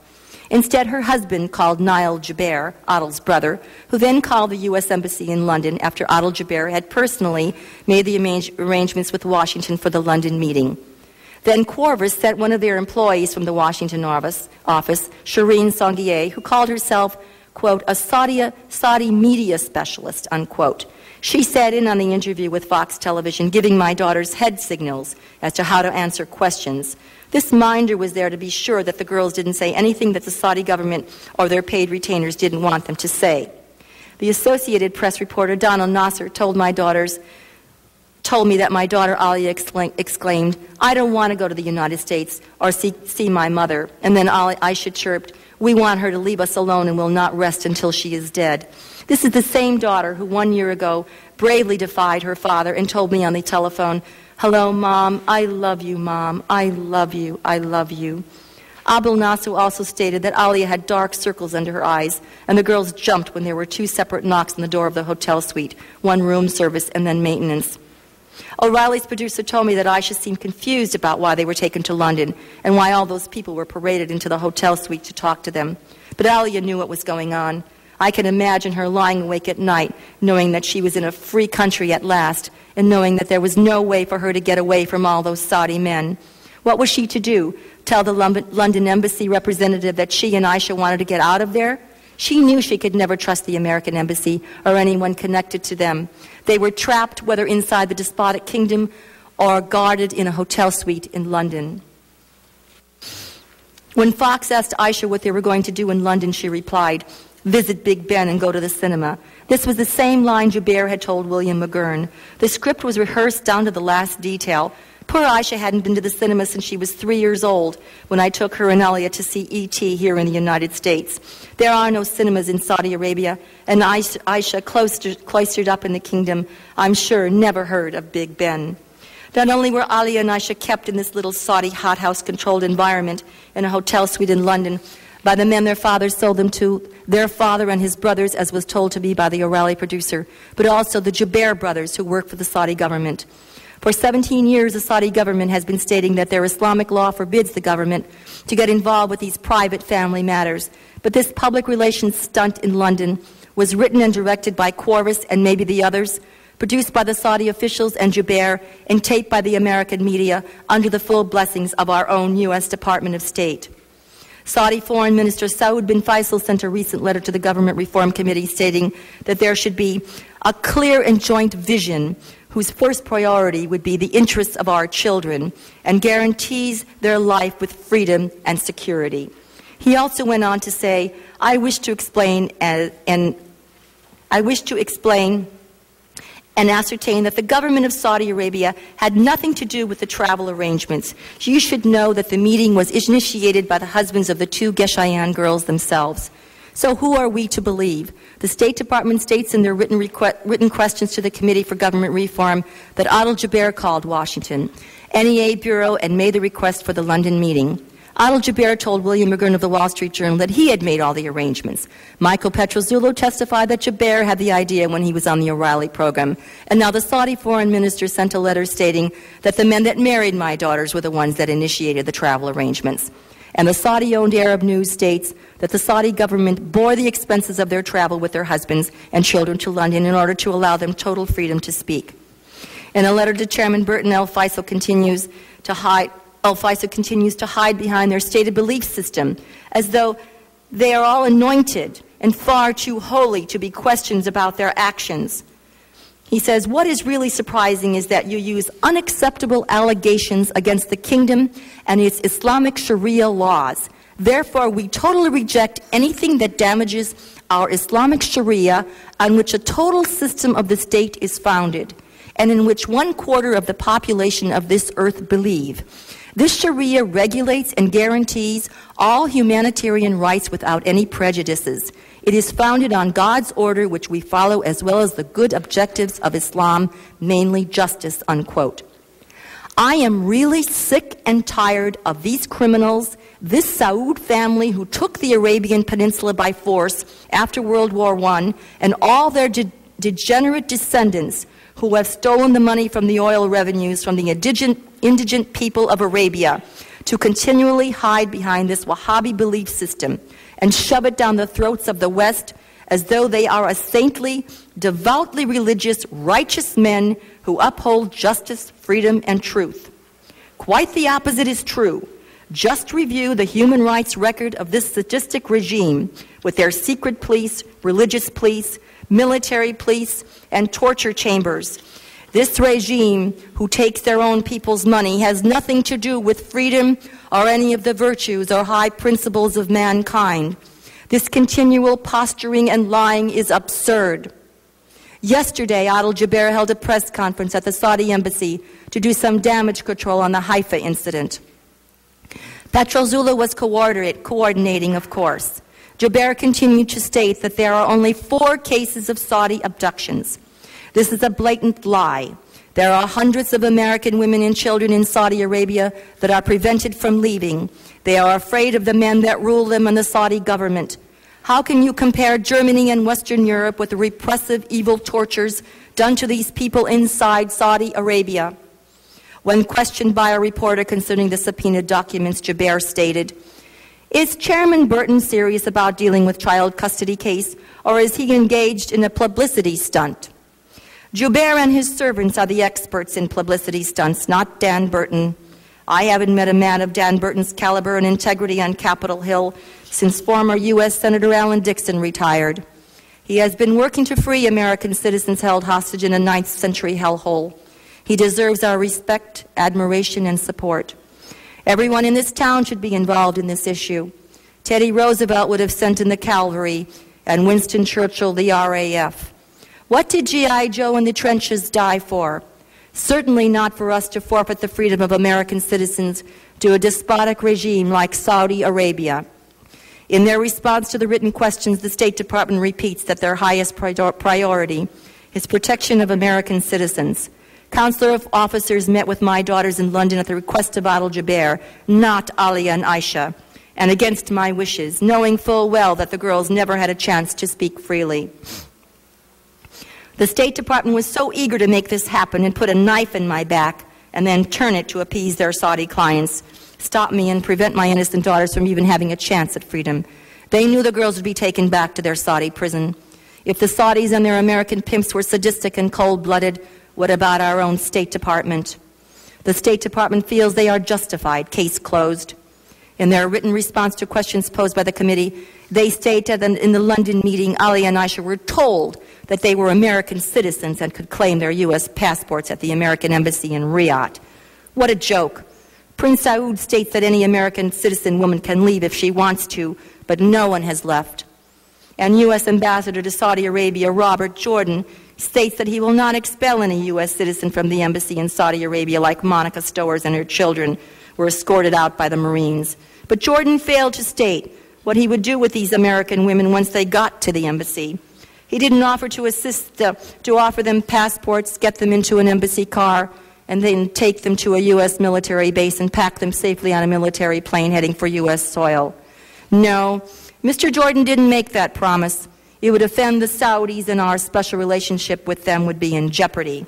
Funny thing last week, Prince Bandar's wife, Princess Haifa El Faisal, was caught funneling money to the same terrorists that killed almost 3,000 Americans on their way to work one September morning. The New York Times explained that the princess was sitting in her pool house, surrounded by her eight children, and received telephone calls offering her support from Barbara Bush and Alma Powell. In 17 years, no one has called me to say how sorry they are for what this government and the Saudi government have done to my family. But the Saudi ambassador and his wife are consoled by our highest leaders and their families before the facts are known about their involvement on an attack on our country. But of course, the Saudis are our friends, and this friendship is based on money, and that is all that counts. Let's work backwards from that premise. Meanwhile, Petruzzello stated in the October hearing that he has no opinion about whether or not the Saudi government is holding Americans against their will in Saudi Arabia. He only writes the scripts, disseminates the propaganda on Capitol Hill, organizes dirty games against two defenseless innocent women who have suffered nearly all their lives at the hands of the Saudis, and then collects his $200,000 per month from his Saudi masters. In other words, he'll do anything for money. The Saudi embassy has instructed all the lobbyists and public relations specialists not to turn over the subpoena documents. If they have nothing to hide and are so interested in assisting the committee in resolving these cases as their attorney, Maureen Mahoney from the Washington law firm of Latham and Watkins states, why not just allow the committee to review the documents? In her letter of November 4th, 14th to Chief Counsel James Wilson, Ms. Mahoney states that, Saudi, that Saudi Arabia has given very serious conditions consideration to the issues raised by the committee surrounding the kidnapping of American citizens. She carefully outlines the steps that the Saudi government has initiated to protect the children and reach an intergovernmental solution. I can tell you that as a 17 year veteran of the Saudi government and their retainer schemes and dirty tricks, Ms. Mahoney's statements are nothing but a perpetuation of non meaningful jargonese expressed by another paid mouthpiece for the Saudis. What she is saying means nothing in reality to my daughters, granddaughter, Monica Stower's daughter, or the hundreds of other American women and children in Saudi Arabia whose voices cannot be heard and whom I represent in absentia. The creation of a task force, ongoing dialogue with the State Department, etc., means nothing.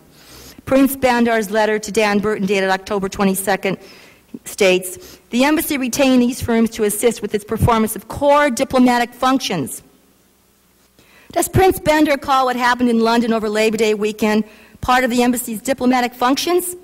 Sending my daughters to London was a public relations stunt to harm the efforts of the chairman and the committee to have my daughters released. It was also a cynical, brutal manipulation of two young women who are victims of contemporary slavery.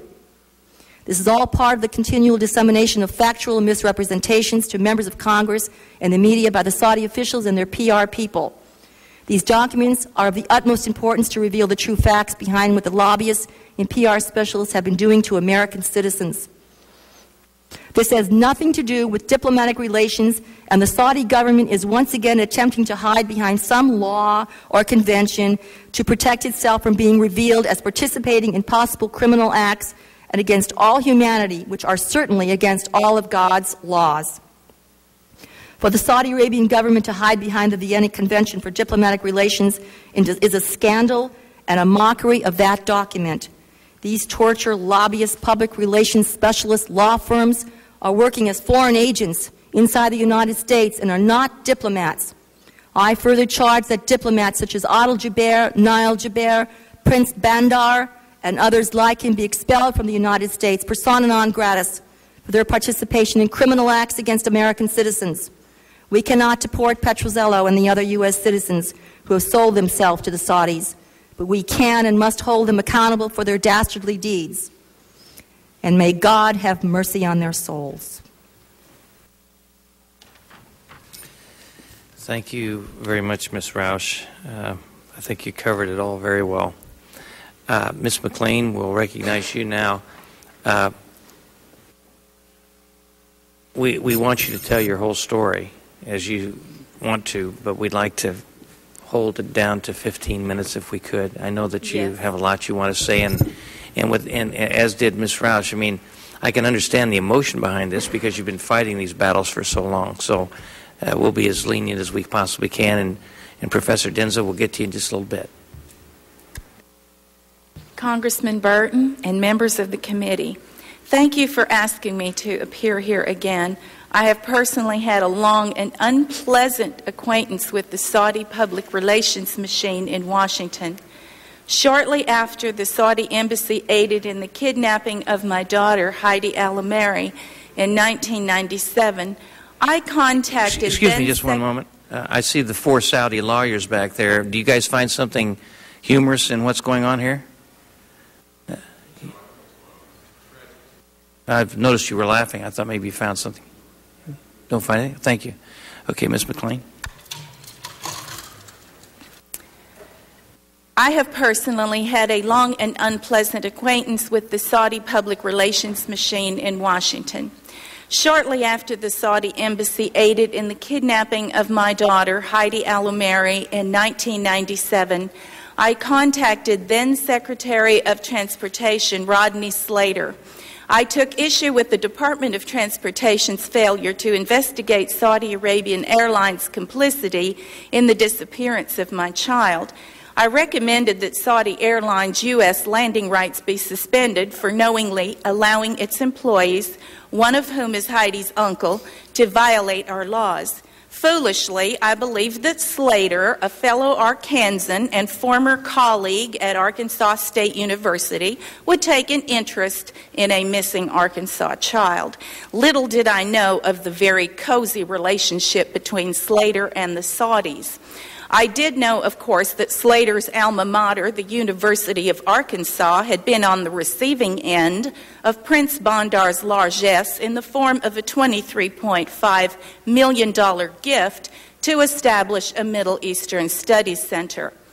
Little did I suspect, however, that the same public official who so cavalierly turned his back on my daughter would go on to a lucrative position at Patton Boggs, the same outfit that supposedly sits here today, scoffing at Congress and protecting the secret communiques of the Saudi terrorists at Bandar's embassy.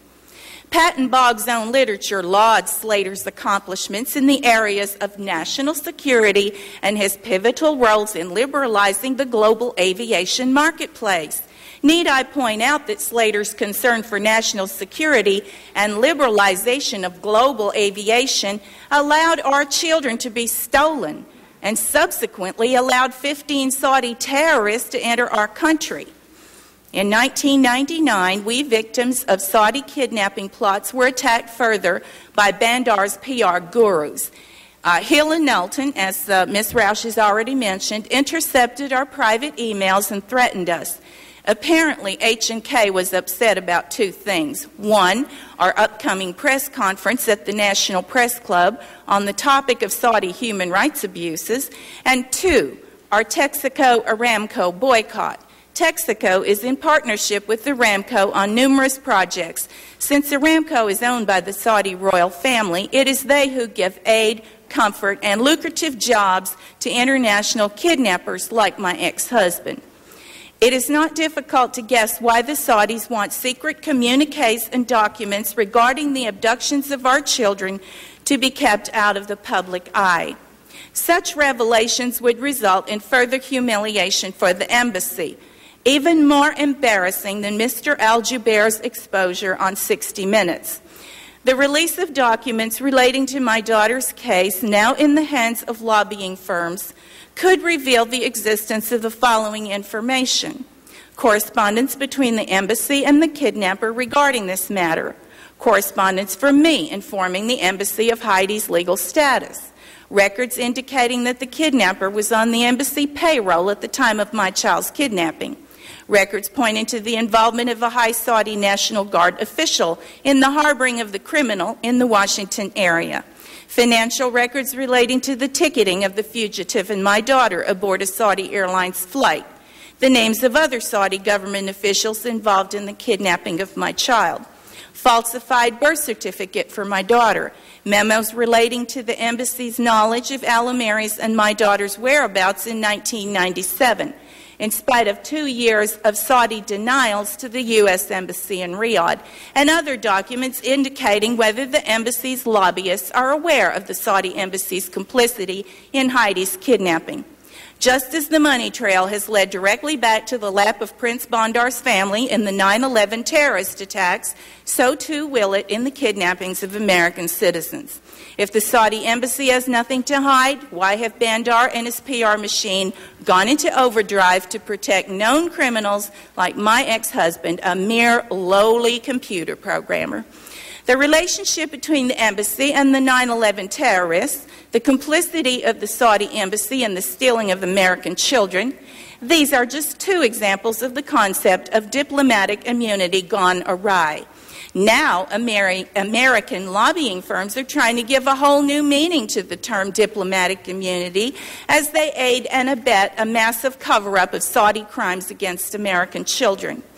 While the Saudi embassy continues to break U.S. laws, it scatters its blood money all over Washington.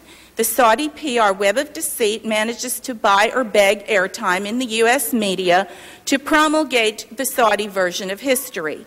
That the Saudis are allies, that Wahhabism is a peaceful religion, that Granny Haifa would never ever send money to terrorists, despite the fact that her family financed a telethon to raise cold hard cash for suicide bombers, and that there are no American children taken to Saudi Arabia against their will. What other lies about the Saudi government are hidden in the secret vaults of Qorvis, Patton Boggs, and the Gallagher Group? It is indeed a telling circumstance that even Patton Boggs insiders are aghast at some of the dirty work they've been forced to do. One whistleblower called for Patton Boggs to end its relationship with Qorvis. He told Forward magazine in May 2002 that the Saudi finance PR campaign was scurrilous. Patton Boggs' managing partner Stuart Pape reported that several partners had lobbied to drop Saudi Arabia as a client. In the November 22 issue of the New York Sun, Mr. Pape revealed that the firm had been, quote, instructed by the Saudi embassy to work with Mr. Burton's committee to find a solution to the Saudi kidnapping problem. Is this what Patton Boggs calls working with the committee? Deceit, lies, and the refusal to turn over subpoenaed documents? And now the escape of the people I'm talking about. Well, my daughter and I still don't have a solution, so what are these lobbyists waiting for? After hearing Al Jubeir dismiss all but four cases of international child abduction yesterday, it is obvious that the Saudis' idea of a solution is the same as it's always been delay, delay, stall, stall, and then delay some more until our girls are old enough to be sold off to the highest bidder. That's what the solution was for Pat's and Monica's daughters, and that's what will happen to Heidi. Last month, I and other grieving parents had to sit here and bite our tongues as we were subjected to a sickening display of stonewalling and double talk by Bandar's mouthpiece, Michael Petruzzello of Qorvis. We came here to tell the truth. Unlike Mr. Petruzzello, we did not have an entourage of lawyers whispering in our ears at every turn, telling us how to make our lies sound good. There isn't enough cash in the entire kingdom of Saudi Arabia to make the Saudi royals or their Washington henchmen look any better than they do right now. In conclusion, I'd like to remind the Saudis that they have no need to fork over tons of cash to the likes of Qorvis, Patton Boggs, Gallagher, Hill, and Knowlton, and others of their ilk. Let me close by giving the best public relations advice the Saudi embassy will ever receive, and my expertise won't cost them one red cent. I give the Saudi royals the same counsel given to the Egyptian pharaoh over 5,000 years ago. And I quote from the book of Exodus in the words of the Jewish prophet Moses Let my people go. Thank you very much, Ms. McQueen. You're welcome. That's a very cogent statement. Uh, Professor Denza, do you have a statement? Is your can you you might pull your mic a little bit closer because sometimes it's hard to pick up. Uh, and is your is your mic on?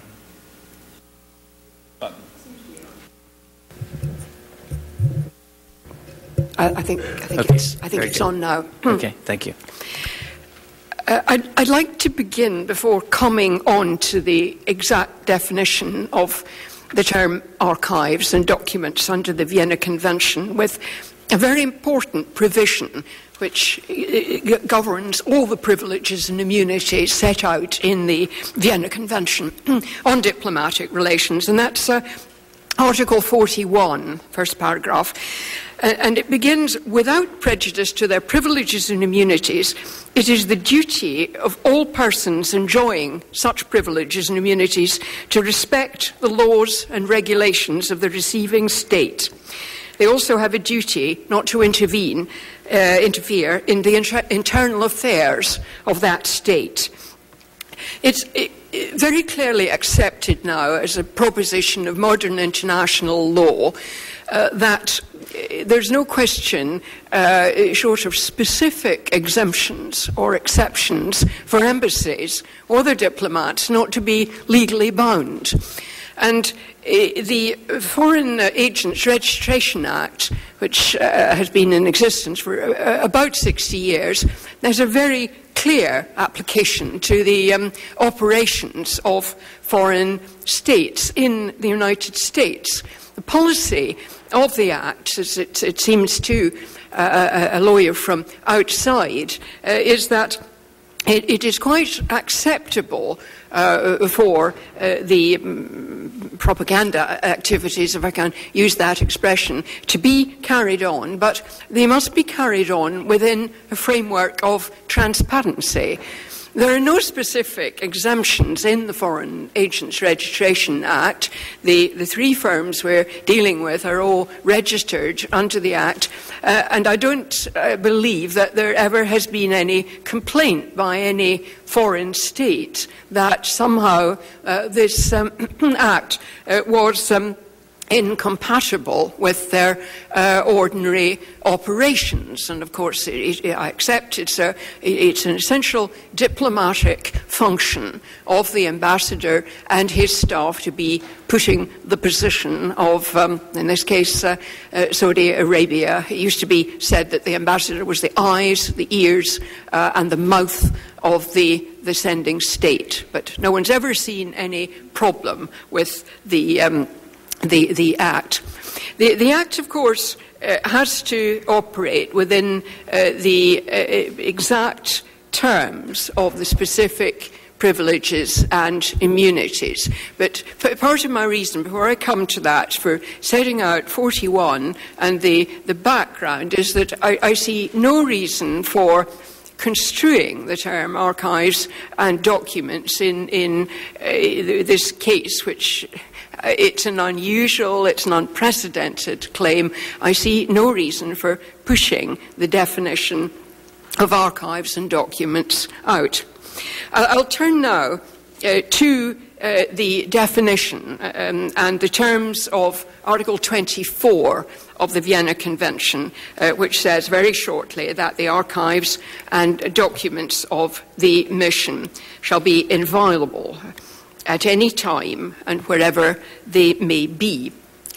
Now, the inviolability of, of archives is in the history of diplomatic law is a relatively uh, recent development.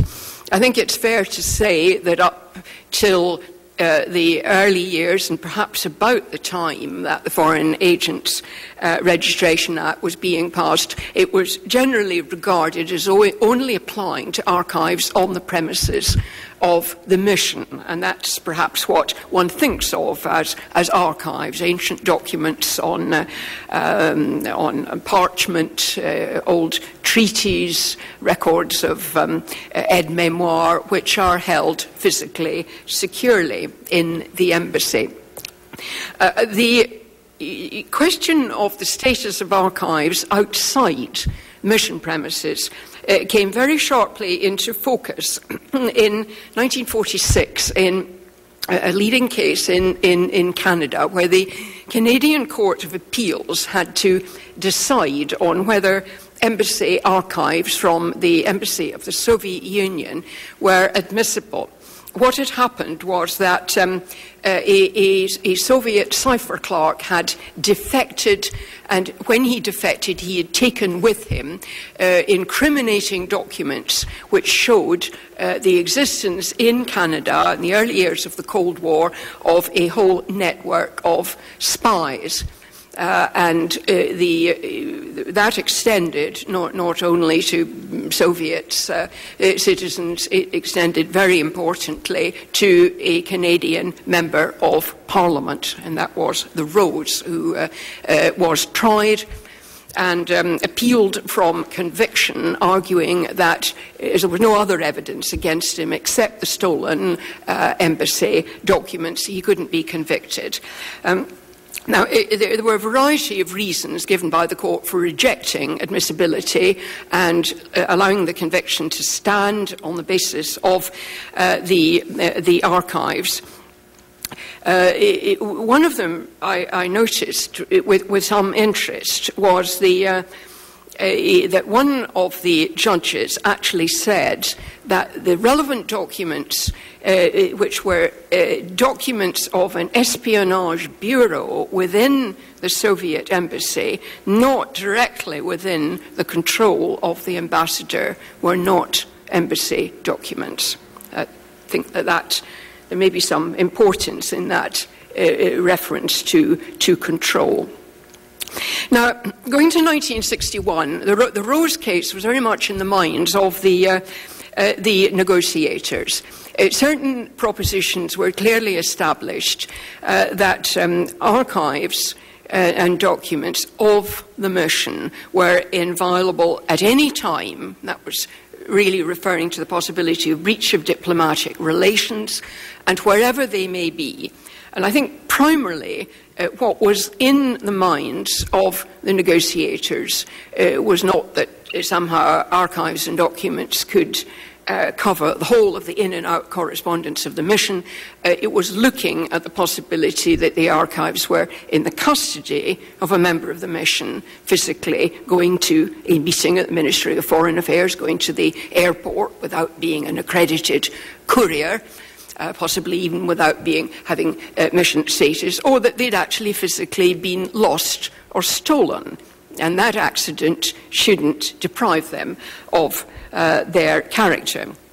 The convention also made clear that the, the, the documents don't, um, uh, don't require to be identified by visible official marks. And of course, in that, the position is different from uh, that of um, uh, diplomatic bags. Now, there have not been very many cases uh, about, uh, uh, about archives on, on, on the whole. Uh, the, the, most sensitive things tend to be rather carefully um, safeguarded. Uh, but the um, case which I've referred to uh, in, um, in the, the, the um, opinion which I've, I've given to the committee is, is very relevant it, it describes the, the, the, test for archives as that the documents must belong to or be in the possession of the mission. Uh, and I, I, think that that case, uh, which depended on legislation which carried over the specific terms of the Vienna Convention, while of course it clearly would not be binding on a United States court, would be very persuasive. It was a decision at the highest level. The House of Lords, and it was unanimous. And as I understand it, this, this test of belonging to or in the possession of is, I think, seems to be generally accepted in the informal discussions there uh, have been. Now, the, there was a, a, slight lacuna in the Tin Council, uh, International Tin Council judgment, in that the International Tin Council, um, to narrow the issues, said uh, they were not concerned with documents in the possession of an agent or bailee of the Council.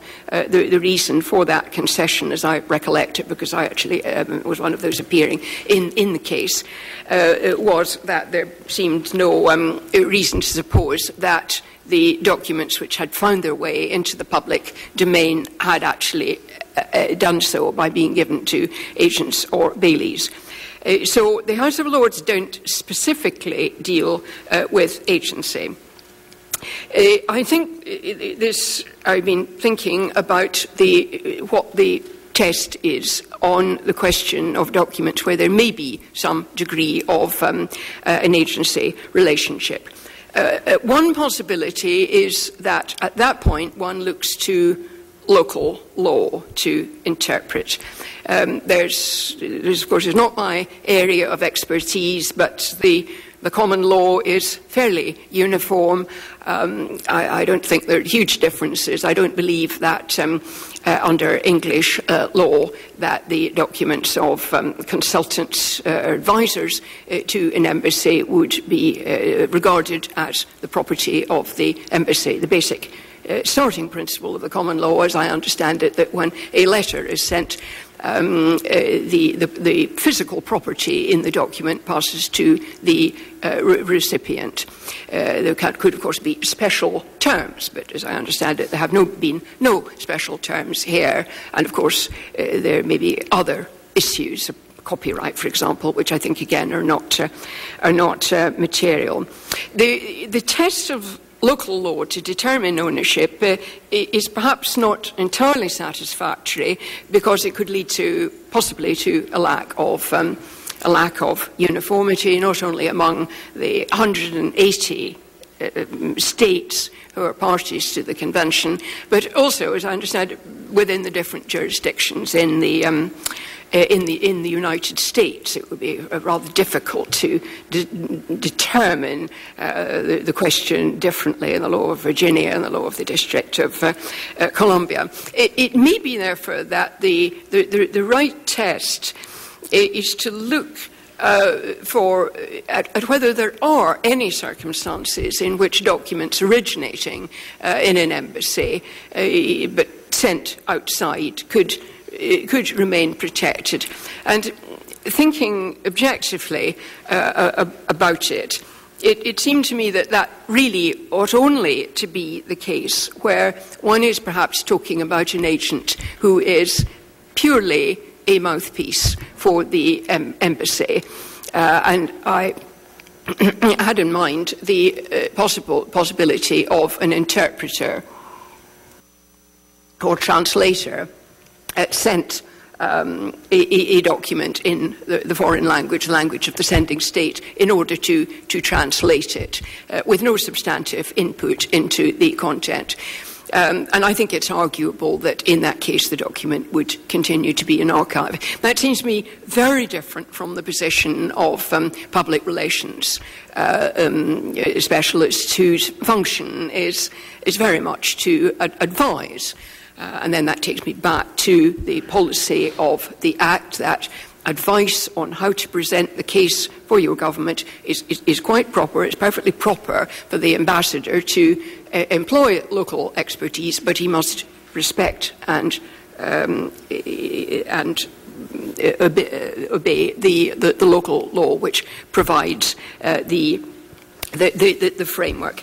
Uh, so coming, coming back, it, it, does in fact remain uh, my, my, own conclusion, although, uh, of, of, course, ultimately the, the, the question might, require, uh, uh might well require to be tested uh, in, in, in, a court uh, of law, but, but that in the present circumstances, uh, the, um, the, the, these documents, which cover, of course, opinions generated outside, uh, outside the embassy, and I, I, found it very interesting to listen to the kinds of document listed by the, uh, by the previous witness as to what we're uh, talking about. Many of these, not in any sense being embassy memoranda, uh, or secret communications between the Saudi ambassador and his government, but quite different kinds of information, perfectly properly held within the, the scope of the Act, and as it seems to me perfectly clearly accessible. Uh, I, I'd just like to um, also deal uh, with the question of the correspondence of the, the mission, because that takes us over to a different article of the Convention, Article 27, which deals with freedom of communication, and that has been um, argued uh, in um, uh, the exchanges that there, there have been about the status of the, the, the documents. Article 27 2 says that the official correspondence of the mission uh, shall be in, inviolable. Now, it's clear from to some extent from the, the, the, records of the convention that what was meant by a correspondence was really um, material in transit. Uh, the, the, there's no indication from the records of the conference that they were meaning that any letter that came from an embassy uh, to anyone in the receiving state was in, inviolable. It was a question of the agents of the receiving state not intercepting this. And of course, historically, there are a great many cases of interception of uh, an embassy's um, uh, communications. Uh, and again, perhaps it, I think it probably is the case that letters actually in transit that they can't be intercepted in in the post. Uh, there's um, I think it's also helpful in looking at the extent of the protection given by Article 27 to look back at the beginning of Article 27, which is, in my view, the most important article uh, in, in, the, in the Vienna Convention. And what the Article 27 at the beginning says the receiving state shall permit and protect free communication on the part of the mission for all official purposes. Now, the critical point, I think, is the next sentence, which is in communicating with the government and the other missions and consulates of the sending state, wherever situated, the mission may employ all appropriate means, including diplomatic couriers and messages in code or cipher. And there's also reference to the diplomatic uh, uh, wireless. Though one sees from the beginning of 27, which I think should be carried over to paragraph 2 of Article 27, that this is not really dealing with the correspondence between the mission and the outside world. It's really dealing with internal correspondence. It, it means that a state which can't afford to send a courier in a bag can put a letter in the post addressed to the government, the Ministry of Foreign Affairs, and that letter, uh, if it accidentally is lost or if it's intercepted or stolen, is not admissible in evidence. And, and again, I think the, the test on 27.2 um, it, legally the same as that that applies in the case of archives and documents. There is very little case law on 27.2 uh, for the simple reason uh, that this is the practice of governments uh, not to send delicate, sensitive, controversial letters through the open post. They send them by hand of a diplomatic agent or they send them by hand of uh, the courier. But I don't think that 27.2 gives uh, a, a, wider uh, um, protection to any of the documents uh, that we are, um, uh, we are concerned with. Um, so, simply to sum up in, in, in, in one uh, sentence, uh, it, it is not my view that the, the documents uh, in the, um, uh, which are clearly in the possession of the firms which have been subpoenaed um, are entitled to inviolability. And I, it is also my view, having, mm, in the light of the correspondence I've seen, that the implications of accepting the proposition put forward uh, that these archives are uh, inviolable would be very far reaching and very dangerous. And I realise that the committee are very well aware of this. Um, thank you, Mr. Chairman. Thank you, Professor. Um, Professor, do you have any concern that the legal theory being put forward by the Saudis could be used to cloak the documents of spies, terrorists, and other individuals who receive funds and directions from embassies? Uh, so far as documents, yes, I, I, I, think that was what I was uh, uh, alluding to in, in, in my concluding, um, uh, concluding words. I think there's no distinction of of principle. Well, let, let, let, let me just say, interrupt, yes. because I want to make sure that in layman's language everyone yes. understands. As uh-huh. I understand your, your statements and, and all of the research that you've done, mm. if it's between the embassy and other internal governmental agencies, yes, that is held inviolate. Indeed. Yes. But if it is uh, uh, uh, correspondence or uh, some kind of transmissions between a embassy, government, uh, or government entity to a public relations firm that is in the control of the public relations firm, mm. then that is not inviolate. I, I, believe that that is the correct position. Yes, it is not. These documents are not inviolable. Now, let me ask you about your credentials because I think this is very, very important. Uh, you, you advise, as I understand it, uh,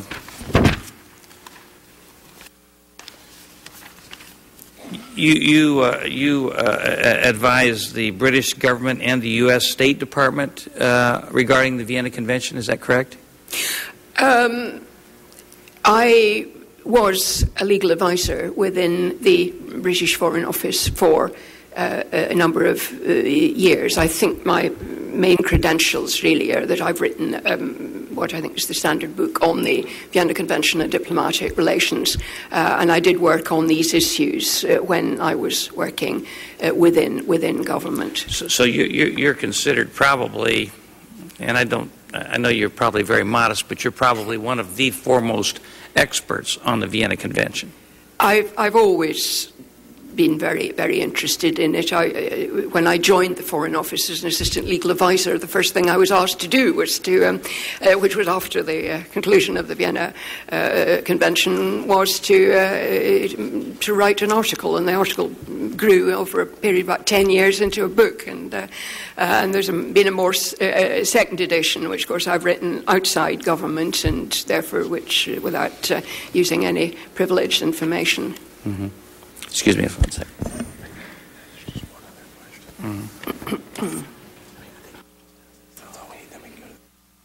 In the uh, letters of the lawyers for the Saudi embassy, which you have received, they claim that a court could conduct an in camera review of documents in a case of espionage and find that law enforcement's need for the documents outweighs the embassy's interest in keeping them secret.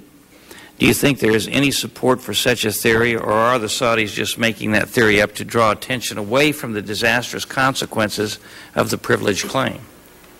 it, it is my view that this idea uh, will not work in the context of inviolable documents. Uh, I accept that the position may be different if you're dealing with a privilege conferred by, by local law, for, for example, the privilege of the executive or the privilege of the lawyer. It's then perhaps possible for a national court, a domestic court, to carry out a balancing act.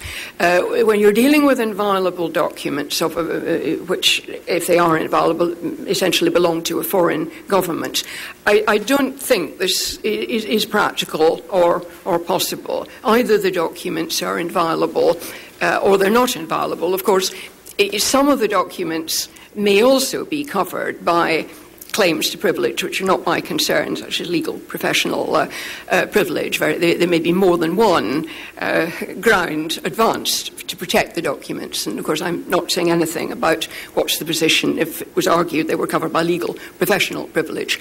But I, I don't think there's any support in any of the cases for the idea uh, that um, an inviolability, the court of the receiving state, in this case the United States, can, can properly balance the interest of the foreign state against the interests of its own uh, judicial system. Such balancing as is done has to be done by the actual terms of the, uh, of the convention.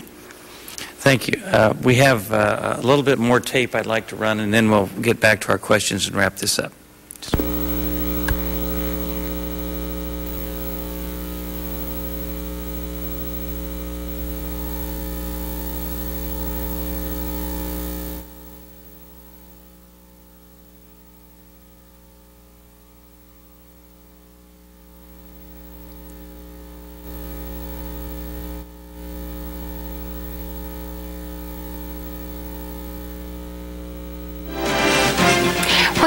country would prevent American children from leaving of their own free will?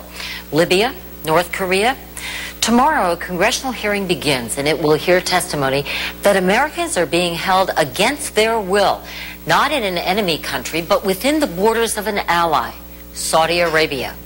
Today on Capitol Hill, there was angry and sometimes emotional criticism of U.S. cooperation with the Saudis. CBS's Thalia Assuras reports it came from American women whose daughters are trapped in Saudi Arabia. A congressional committee there heard some very emotional testimony from American women whose daughters and granddaughters are being held against their will in Saudi Arabia. These are American children kidnapped by Saudi family members and who lead a life of constant fear and abuse. ABC's John Yang reports. I came here today to plead for my daughter and my granddaughter's life. It's like a horror picture. Saudi Arabia is a totalitarian state where my daughters are locked up, wrapped up, and shut up. Heart wrenching testimony from women desperate to see their children and grandchildren held against their will in a country where women and children cannot leave without the permission of their husband, father, or brother. It would seem unthinkable that dozens of American citizens could be held against their will in a country with which we've long had cordial relations. But that is just what is happening to American girls who've been kidnapped from their American mothers by their Saudi fathers. Most of them never see the United States or their mothers again. Why? Because Saudi Arabia is the only country in the world where a female cannot leave without written permission from her closest male relative. And in most abduction cases, that is her father, the man who kidnapped her in the first place. Case in point, 16 year old Maha. You just want to see your mother and be with her. And living in the States, I lived in the States for about five years, and um, those were the best years of my life. Do you think that uh, other young people, especially women being held in Saudi Arabia, are free to speak their minds? No, they're not. Especially if they want to come back to the U.S., they're not able to say that? They're threatened. They're threatened.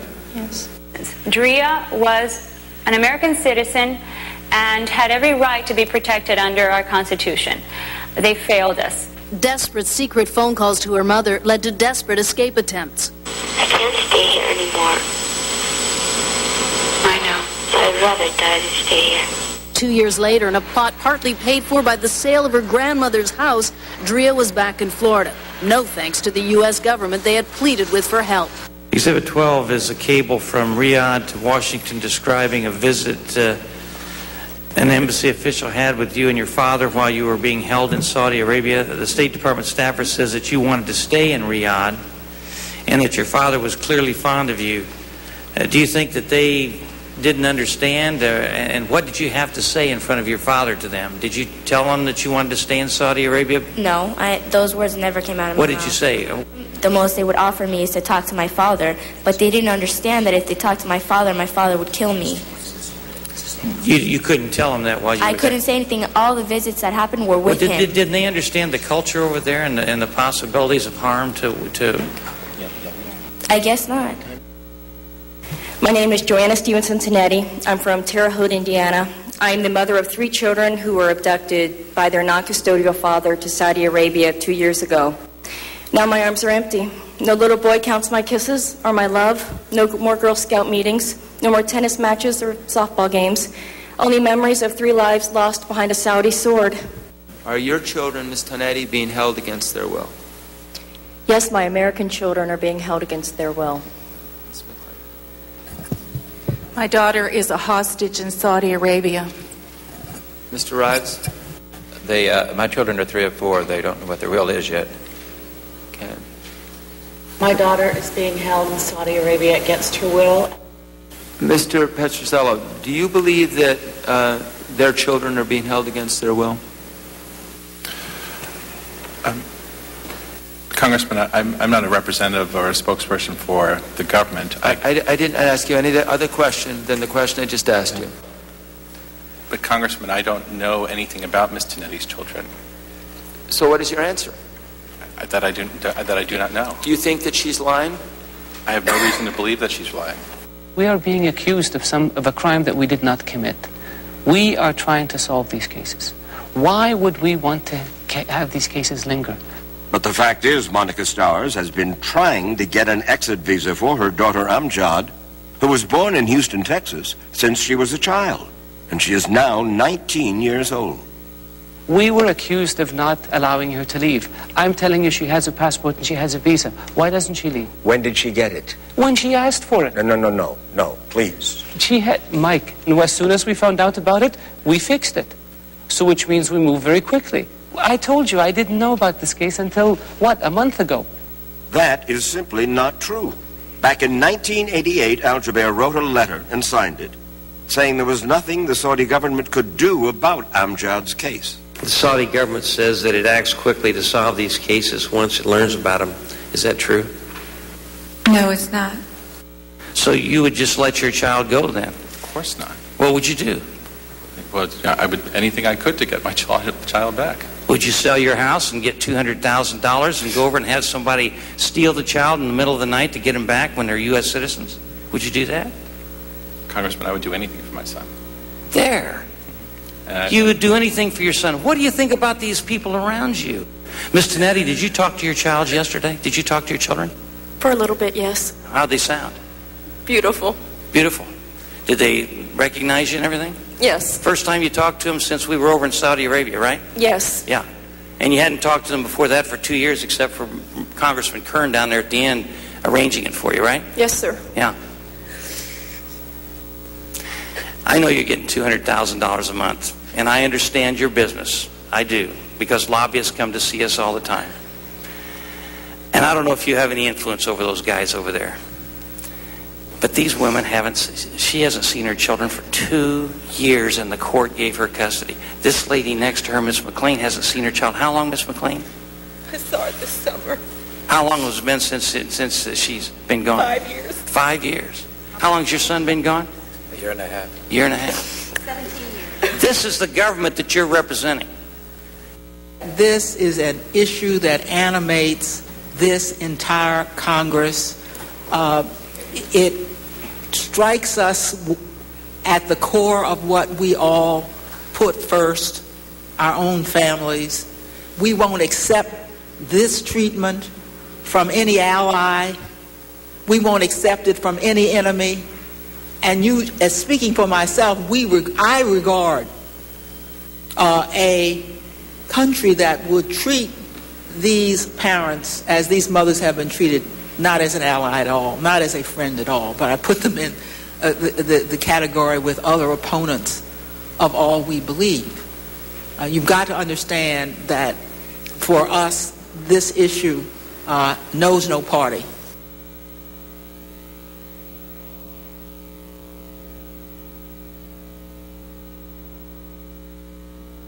Copies of the final divorce decree were mailed to the Saudi embassy and all other Saudi offices within the United States. It is also apparent that the Saudis disregarded the decree, decree and the court order and issued new pas- passports to my ex-husband, making them knowing and willing accomplices in the abduction of three American citizens. Not only do the Saudis hide, harbor, and shelter criminals, they also aid and abet them. Mr. Crocker, would you agree that in the Tonetti case that the Saudi embassy appears to have issued passport to Joanna Tonetti's uh, children despite the fact that it had been warned that her ex-husband did not have custody of the children and was not allowed to take them out of the country?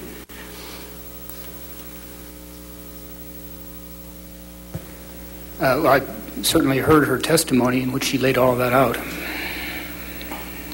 Well, would you agree that in the McCain, McLean case that the Saudi government apparently issued a passport to Heidi, uh, despite the fact that it had been warned uh, that uh, the father did not have custody of Heidi and was not allowed to take her out of the country?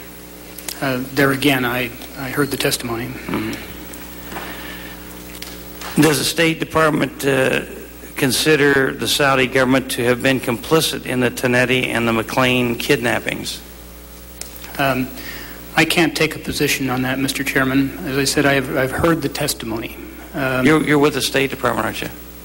That is correct. But he did. Your judge did make it clear that they were not to be taken out of the country. Correct. And he, he did he write or call the embassy? He wrote, I believe, and you should have a copy of the divorce decree. Okay, with, so he, he wrote to the embassy, and there was Mhm. a copy of the divorce decree Yes, that was sent to the Saudi embassy saying, "Don't take these kids out of the country." exactly not to issue passports, and Okay. It was And- mailed regular and certified, so there are signed copies. So it was certified, Yes, you should have copies of all the and, certifications. and, and so the Saudis knew about this, oh yes, and uh, they were complicit. They were parties to the kidnapping of your children. yes they were. They knew it. Yes, they did. So they broke the law. well, they don't recognize our law. No, no, I bet they broke our law. Yes. Yeah. Well, maybe we'll make them more aware of our law. Did you or your firm help draft Prince Bandar's letter to the Wall Street Journal, and the letter that said, quote, some have charged that Saudi Arabia is holding Americans against their will, and this is absolutely not true? Uh, Mr. Chairman, I believe we provided some early drafts and talking points for that letter. So you did help draft that letter? Yes, sir. Do you really believe that statement?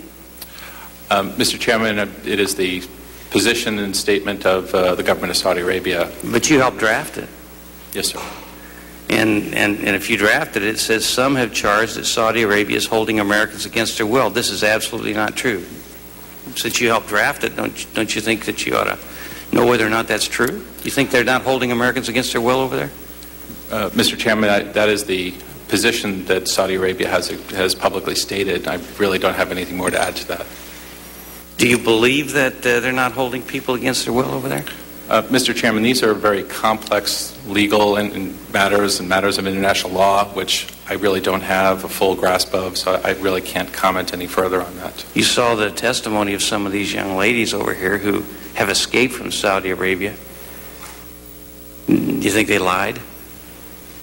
Mm, I don't have any re- reason to believe they lied, no, sir. And, and you get $200,000 a month from the Saudi government? That's correct. Mm.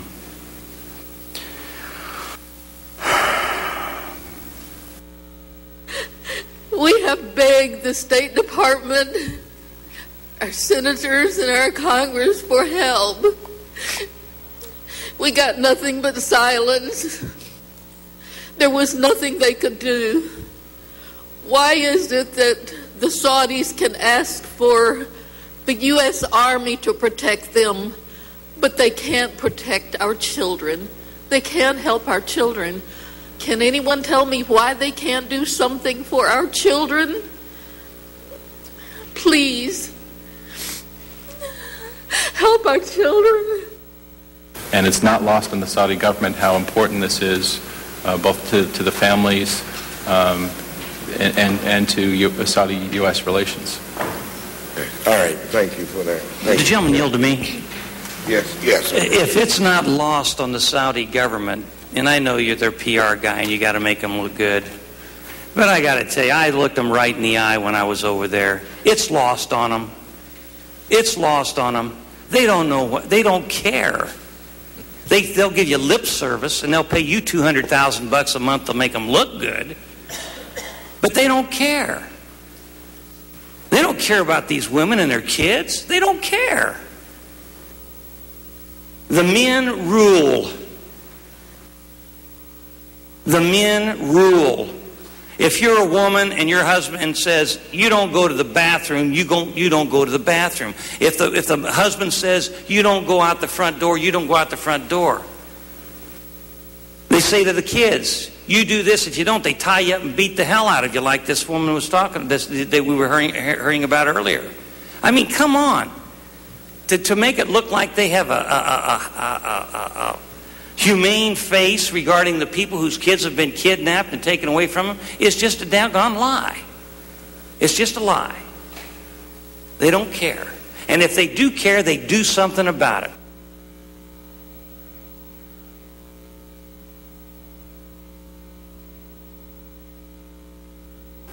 Rosemary, Sarah, and Z are beautiful American children.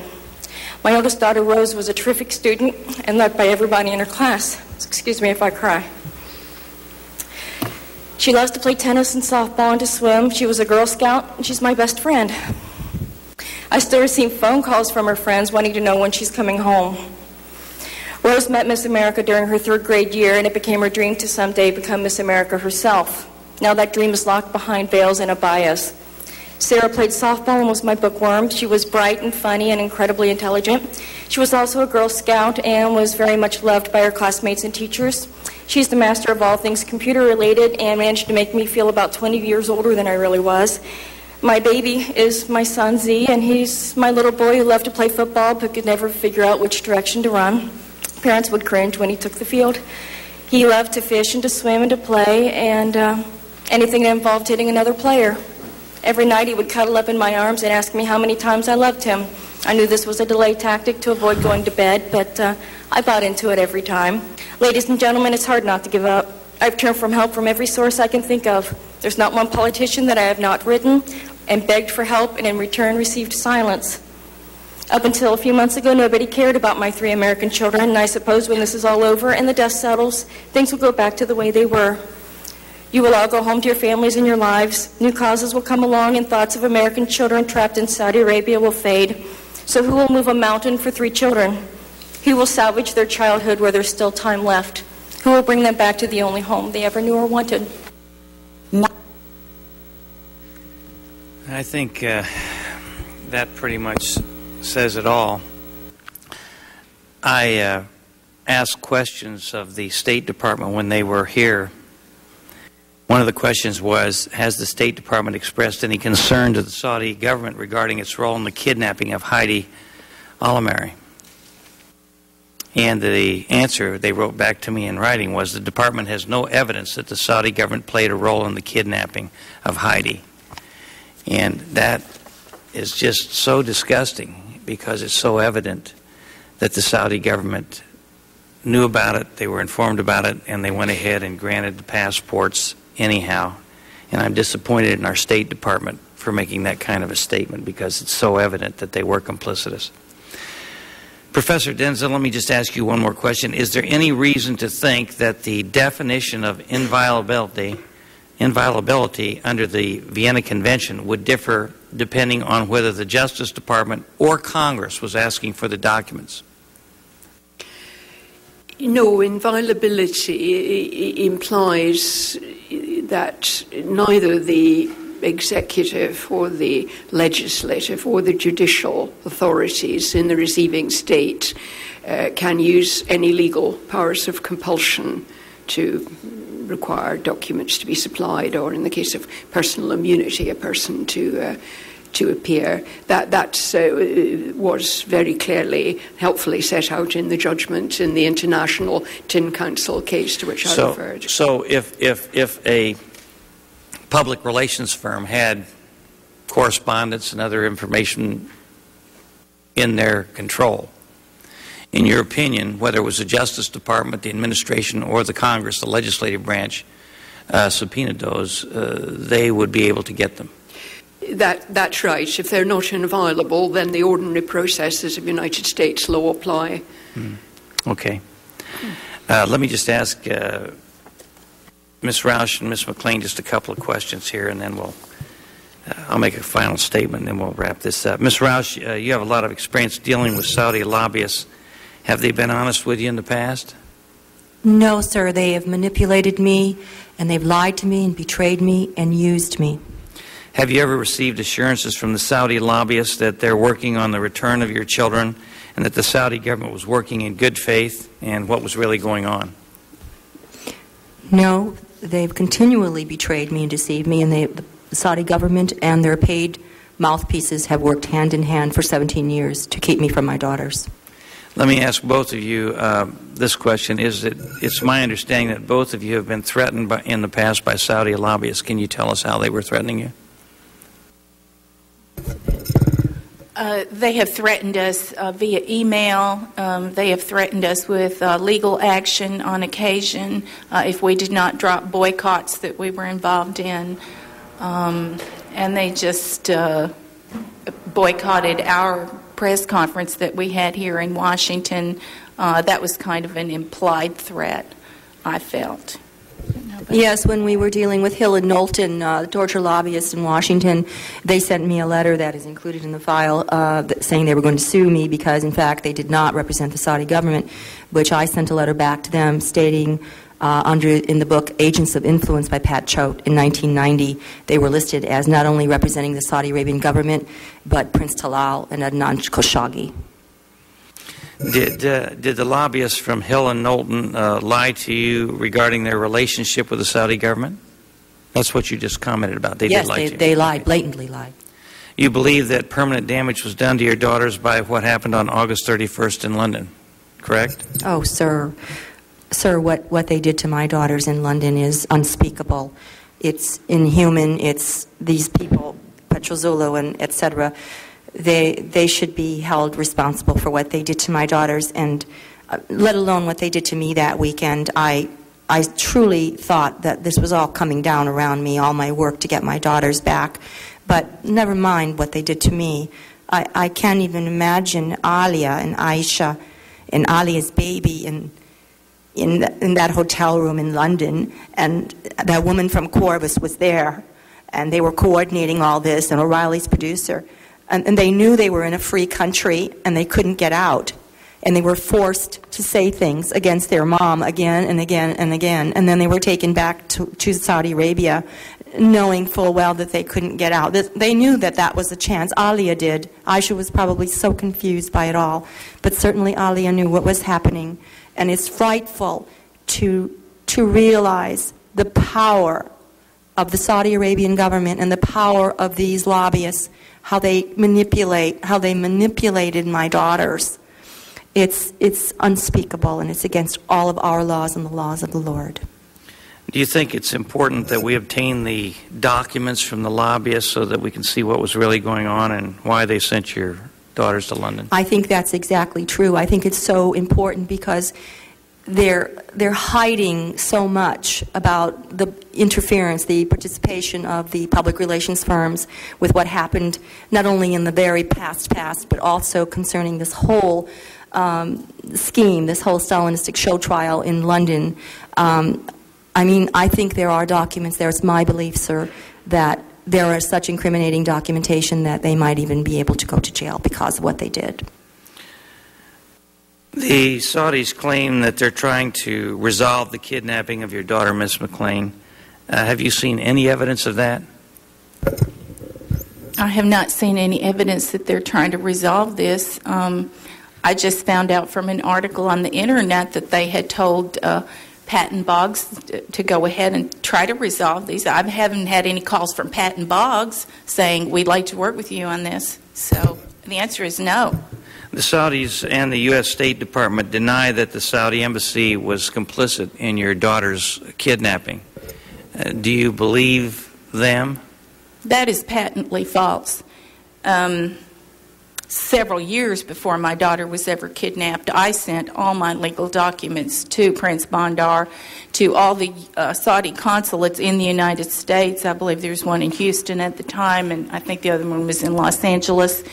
Uh, they all have those documents. I sent them registered, I sent them certified, I had them translated into Arabic so they knew exactly what they said. And I said, um, This child does not have permission from me or from the court to leave the United States of America with her father.